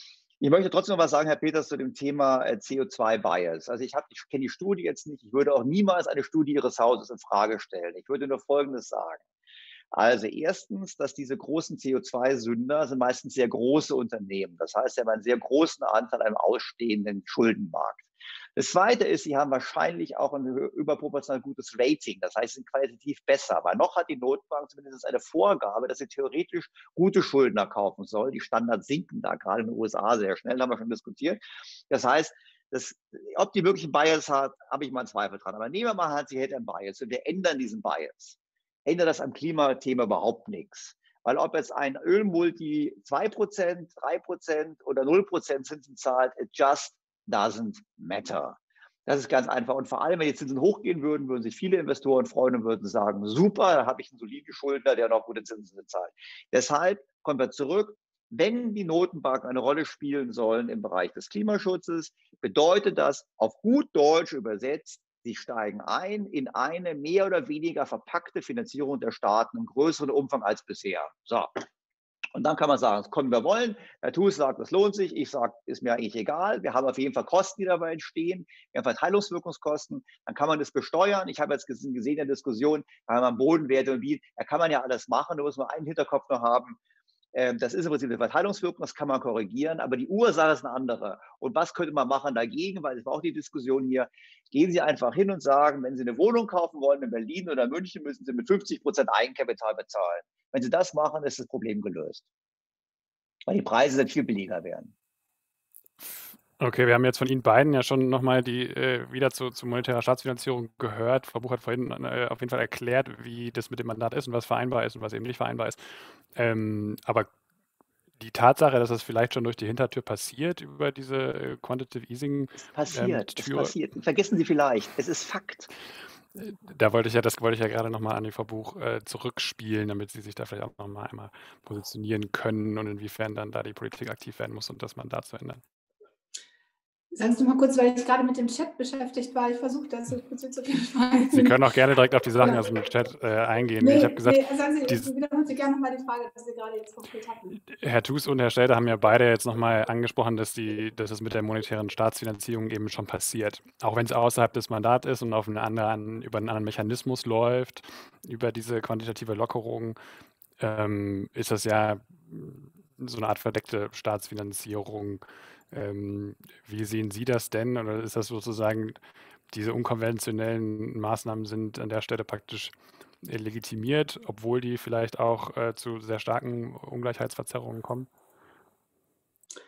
Ja, ich sehe das nicht so, hatte ich ja eben schon gesagt. Also wenn das, wenn das monetäre Staatsfinanzierung wäre, so wie das hier behauptet wird, dann dürfte die EZB das nicht. Das ist verboten und deswegen ist das natürlich auch eine Diskussion, die sehr intensiv in der EZB geführt wird, ähm, was untersucht wird. Ähm, Im Moment steht ja, ähm, vielleicht sollten Sie da nochmal eine separate Sitzung zu machen, auch die Strategy Review der, der EZB an. Da geht es natürlich ganz genau um diese, um diese Themen. Also von daher würde ich dieser These widersprechen, dass das alles so furchtbar klar ist, dass hier monetäre Staatsfinanzierung stattfindet. Das ist, das ist nicht so. Aber ganz klar, die, die Notenbank ist darauf angewiesen, die agiert nicht alleine. Also und sie ist auch eine Institution, die ähm, nicht einfach so, mir macht das ein bisschen nervös, wenn, wenn ich höre, Geldpolitik sollte kreativ sein. Also überhaupt nichts gegen Kreativität ähm, in, in ähm, äh, vielen Bereichen. Aber äh, man muss schon sehen, dass Geldpolitik ist ein, ist ein sehr wirkungsvolles Instrument.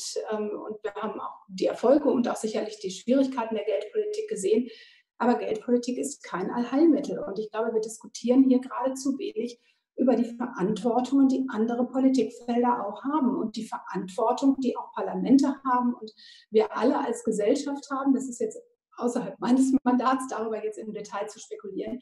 Aber das müssen wir einfach sehen. Wir können nicht ganz wesentliche Herausforderungen, die für Gesellschaften, für Wirtschaftssysteme da sind, da können wir nicht einfach sagen, da gehen wir mal kreativ damit um und die Notenbank macht das schon alles irgendwie. Dann haben sie sehr viel Vertrauen in die Personen, die da sitzen, dass die dann das machen, was sie sich wünschen und vorstellen. Das Thema Populismus ist ja auch eben angesprochen worden ich bin mir da nicht so sicher, dass alle, die jetzt hier mitdiskutieren, sich dann immer freuen würden, wenn man das jetzt mal wirklich zu Ende denken würde, was dann dabei rauskäme. Also ich bin sehr, ich gehe nochmal zu meiner Anfangsthese zurück, ich bin sehr davon überzeugt, dass wenn es große Probleme gibt und Herausforderungen, ähm, wir auch ganz klar Zuständigkeiten haben müssen, damit umzugehen. Ähm, was wir noch gar nicht diskutiert haben, sind Zielkonflikte. Ne? Also wir haben ja Verteidigungsthemen, wir haben Klimathemen, wir haben ganz, ganz viele Probleme oder Herausforderungen in unserer Gesellschaft. Was macht uns denn dann so sicher, wenn wir sagen, die Notenbank soll es mal richten? Ähm, dass sie dann in Anführungsstrichen das richtige Ziel auswählt. Also das sind alles so Themen, die wir hier nur so angerissen haben. Ich vermute mal, wir haben noch fünf Minuten, wir kommen auch nicht dazu, das jetzt abschließend auszudiskutieren. Ich, ich würde Sie jetzt gleich alle nochmal um Abschluss Statement bitten, aber vielleicht kann ich bei Ihnen noch mal einmal nachhaken, weil ähm, Sie haben es ja selber auch gesagt, so die Fiskalpolitik müsste mehr machen, die Staaten müssten mehr machen. Das ist ja auch eine äh, absolut legitime Position, aber, viel, aber an der Stelle könnte man ja auch noch mal darüber nachdenken, dass eben die Zentralbanken ja diejenigen sind, die auch in gewisser Art und Weise festlegen, wie günstig sich äh, Staaten eben verschulden können oder auch nicht. Ähm, es gibt da ja auch Diskussionen um eine bessere Koordination zwischen äh, Fiskal- und äh, ja, Geldpolitik. Ähm, ist das etwas, was man sich dann vielleicht eher vorstellen könnte? Naja, also die, da sind aber auch die, klar, natürlich, also ich will ja nicht bestreiten, dass die Notenbanken Einfluss auch auf die, auf die Zinsen haben, aber sie legen eben nicht den langfristigen Realzins fest, sondern sind eben auch die kurzfristigen äh, Marktzinsen. Natürlich werden da Finanzierungsbedingungen auch für die Volkswirtschaft ähm, äh, ähm, bestimmt. Das ist ja der Transmissionskanal der Geldpolitik, aber eben darum ist es so wichtig, dass wir gleichzeitig auch bestimmte Regeln für die Fiskalpolitik haben, die wir jetzt wegen der Krise erstmal ähm, ausgesetzt haben, was ja auch durchaus sinnvoll ist. Aber auch da müssen wir gucken, wie wir da wieder hinkommen, dass wir auch ähm, Regeln haben, mit der Verschuldung im, im, privaten Sektor umzugehen. Das kann eben die Geldpolitik nicht alles alleine machen. Wir brauchen schon auch ein System um uns herum, was dafür sorgt, ähm, dass eben diese Finan dass zum Beispiel günstige Finanzierungsbedingungen nicht dazu führen, dass die, die Verschuldung ins Unendliche steigt. Das sind genau eben die Dinge, um die es geht, wo die Politikfelder zusammenwirken müssen. Das haben wir nicht nur, wenn wir über makropotenzielle Politik gesprochen, wir haben es in der Fiskalpolitik genauso. Okay, vielleicht haben wir jetzt noch genau eine Minute für jeden, dass wir noch mal ein Abschlussstatement hören können. Herr Stelter, wollen Sie anfangen? Wo würden Sie jetzt als erstes ansetzen, wenn Sie äh, Notenbanker wären, wenn Sie Christine Lagarde wären? Also, meine Zusammenfassung ist einfach, wenn Frau, Frau Lagarde von Klimapolitik spricht als Notenbankerin, dann geht es im Kern nur um das, was Herr Thus gerne möchte und was ich erwarte. Das sind zwei verschiedene Dinge, nämlich den Einstieg in direkte Finanzierung der Staaten. Das kann man irgendwie verpacken und kann das umdrehen und dann gibt es halt irgendwie Green Bonds, die emittiert werden, die eine Millisekunde bei Deutsche Bank sind, hinterher bei der EZB. Das kriegen wir sowieso. Und ich bleibe dabei, dass es gemacht wird, weil die Notenbanken sich selbst und uns alle in eine Sackgasse manövriert haben von viel zu viel Schulden, von viel zu viel Leverage und sie kriegen das nicht gelöst einfach so. Und jetzt können sie schaffen eine höhere Inflation. Und eine höhere Inflation entwertet das Geld einfach dadurch, weil die Wirtschaft dann schneller wächst. Das ist das, was wir erleben werden. Das wird aber zur Unzufriedenheit führen in diesem kommenden Jahrzehnt. Und deshalb werden wir am Ende des Jahrzehntes ganz andere Strukturen haben mit einer ganz anderen, leicht auch monetären Ordnung. Das wird bumpy, und ich hoffe, dass wenigstens als Nebenprodukt, Nebenprodukt dieses ähm, schwierigen Ritz dann in der Tat etwas fürs Klima Klimaschutz herauskommt, was Sinnvolles. Weil die Frage ist ja nicht nur mehr Geld auszugeben, muss es ja auch sinnvoller ausgeben. Und auch darüber können wir mal diskutieren, dass die Politik da auch nicht gerade einen tollen Job macht. Aber das wäre von andermal. Herr Thus, die Geldpolitik der Zukunft sollte, Punkt, Punkt, Punkt, was tun? Ja, Sie sind gerade auf Mute sie, sie muss sich orientieren an dem Ziel, ähm, einige 10 Billionen Euro, Dollar in den globalen Energiewandel äh, zu mobilisieren, für, für diesen Energiewandel zu mobilisieren. Darum geht es. Das ist die Herausforderung, wenn wir über Klima sprechen. Das wird vom Privatsektor bereits gemacht. Ähm, es wird auch über den Staat laufen. Das ist eine Frage der Geld in der Finanzpolitik. In diesen Fragen spielen die Zentralbanken notwendigerweise eine Schlüsselrolle als Steuerungsinstanz in der, Fis in der Fiskalpolitik, ihre historische Rolle als geldpolitische Akteure in der Kontrolle der Inflation, aber auch als regulierende Instanz, aber auch als marktschaffende Instanzen in dem Sinne, dass sie sich mit Regulation, äh, Regulierung beschäftigen. All, all das ist, werden Kernthemen sein, denn es geht um riesige Mengen an Investitionen, die mobilisiert werden müssen in, in der nächsten Generation. Vielen Dank. Und Frau Buch, ähm, zum Schluss, Geldpolitik in der Zukunft, was könnte man noch anders machen?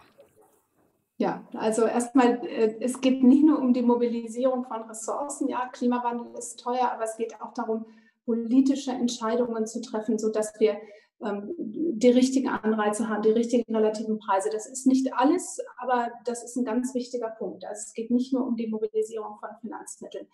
Ähm, Notenbanken können ganz viel ergänzend dazu beitragen im Rahmen ihrer Mandate. Und ähm, wir sind jetzt gar nicht so auf die einzelnen Punkte gekommen, die ich eben angesprochen hatte. Ähm, für all diejenigen, die das weiter verfolgen möchten, es gibt ja das Network for Greening the Financial System, in dem wir sehr aktiv sind, wo auch viele von diesen Themen angesprochen werden, die wir hier gerade dis diskutiert haben. Und von daher würde ich es dabei eigentlich bei meinem Schlusswort lassen. Ich fange jetzt nicht nochmal mit den Mandaten an, da haben wir ausführlich drüber gesprochen. Ich glaube, da wären wir uns auch nicht mehr hundertprozentig einig. Ähm, aber ich finde es gut, diese Diskussion zu führen. Und wie gesagt, beteiligen Sie sich auch an den Aktivitäten, die wir in diesem Network ähm, machen, weil das ist der Beitrag, den wir leisten können und den leisten wir auch gerne. Dankeschön. Okay, dann vielen, vielen Dank für dieses äh, Schlusswort und mir bleibt dann nur noch, mich ganz, ganz herzlich bei Ihnen allen zu bedanken und äh, noch auf den weiteren Fortschritt dieses Programms hinzuweisen. Wir gehen um 15 Uhr morgen geht's äh, weiter und dann ähm, werden wir um, kurz nach drei uns dann auch nochmal intensiver mit den Verwerfungen am Finanzmarkt äh, auseinandersetzen, die wir heute am Anfang ja auch angesprochen haben. Von daher nochmal ganz herzlichen Dank, Frau Buch, Herr Stelter, Herr Thus und äh, auf Wiedersehen.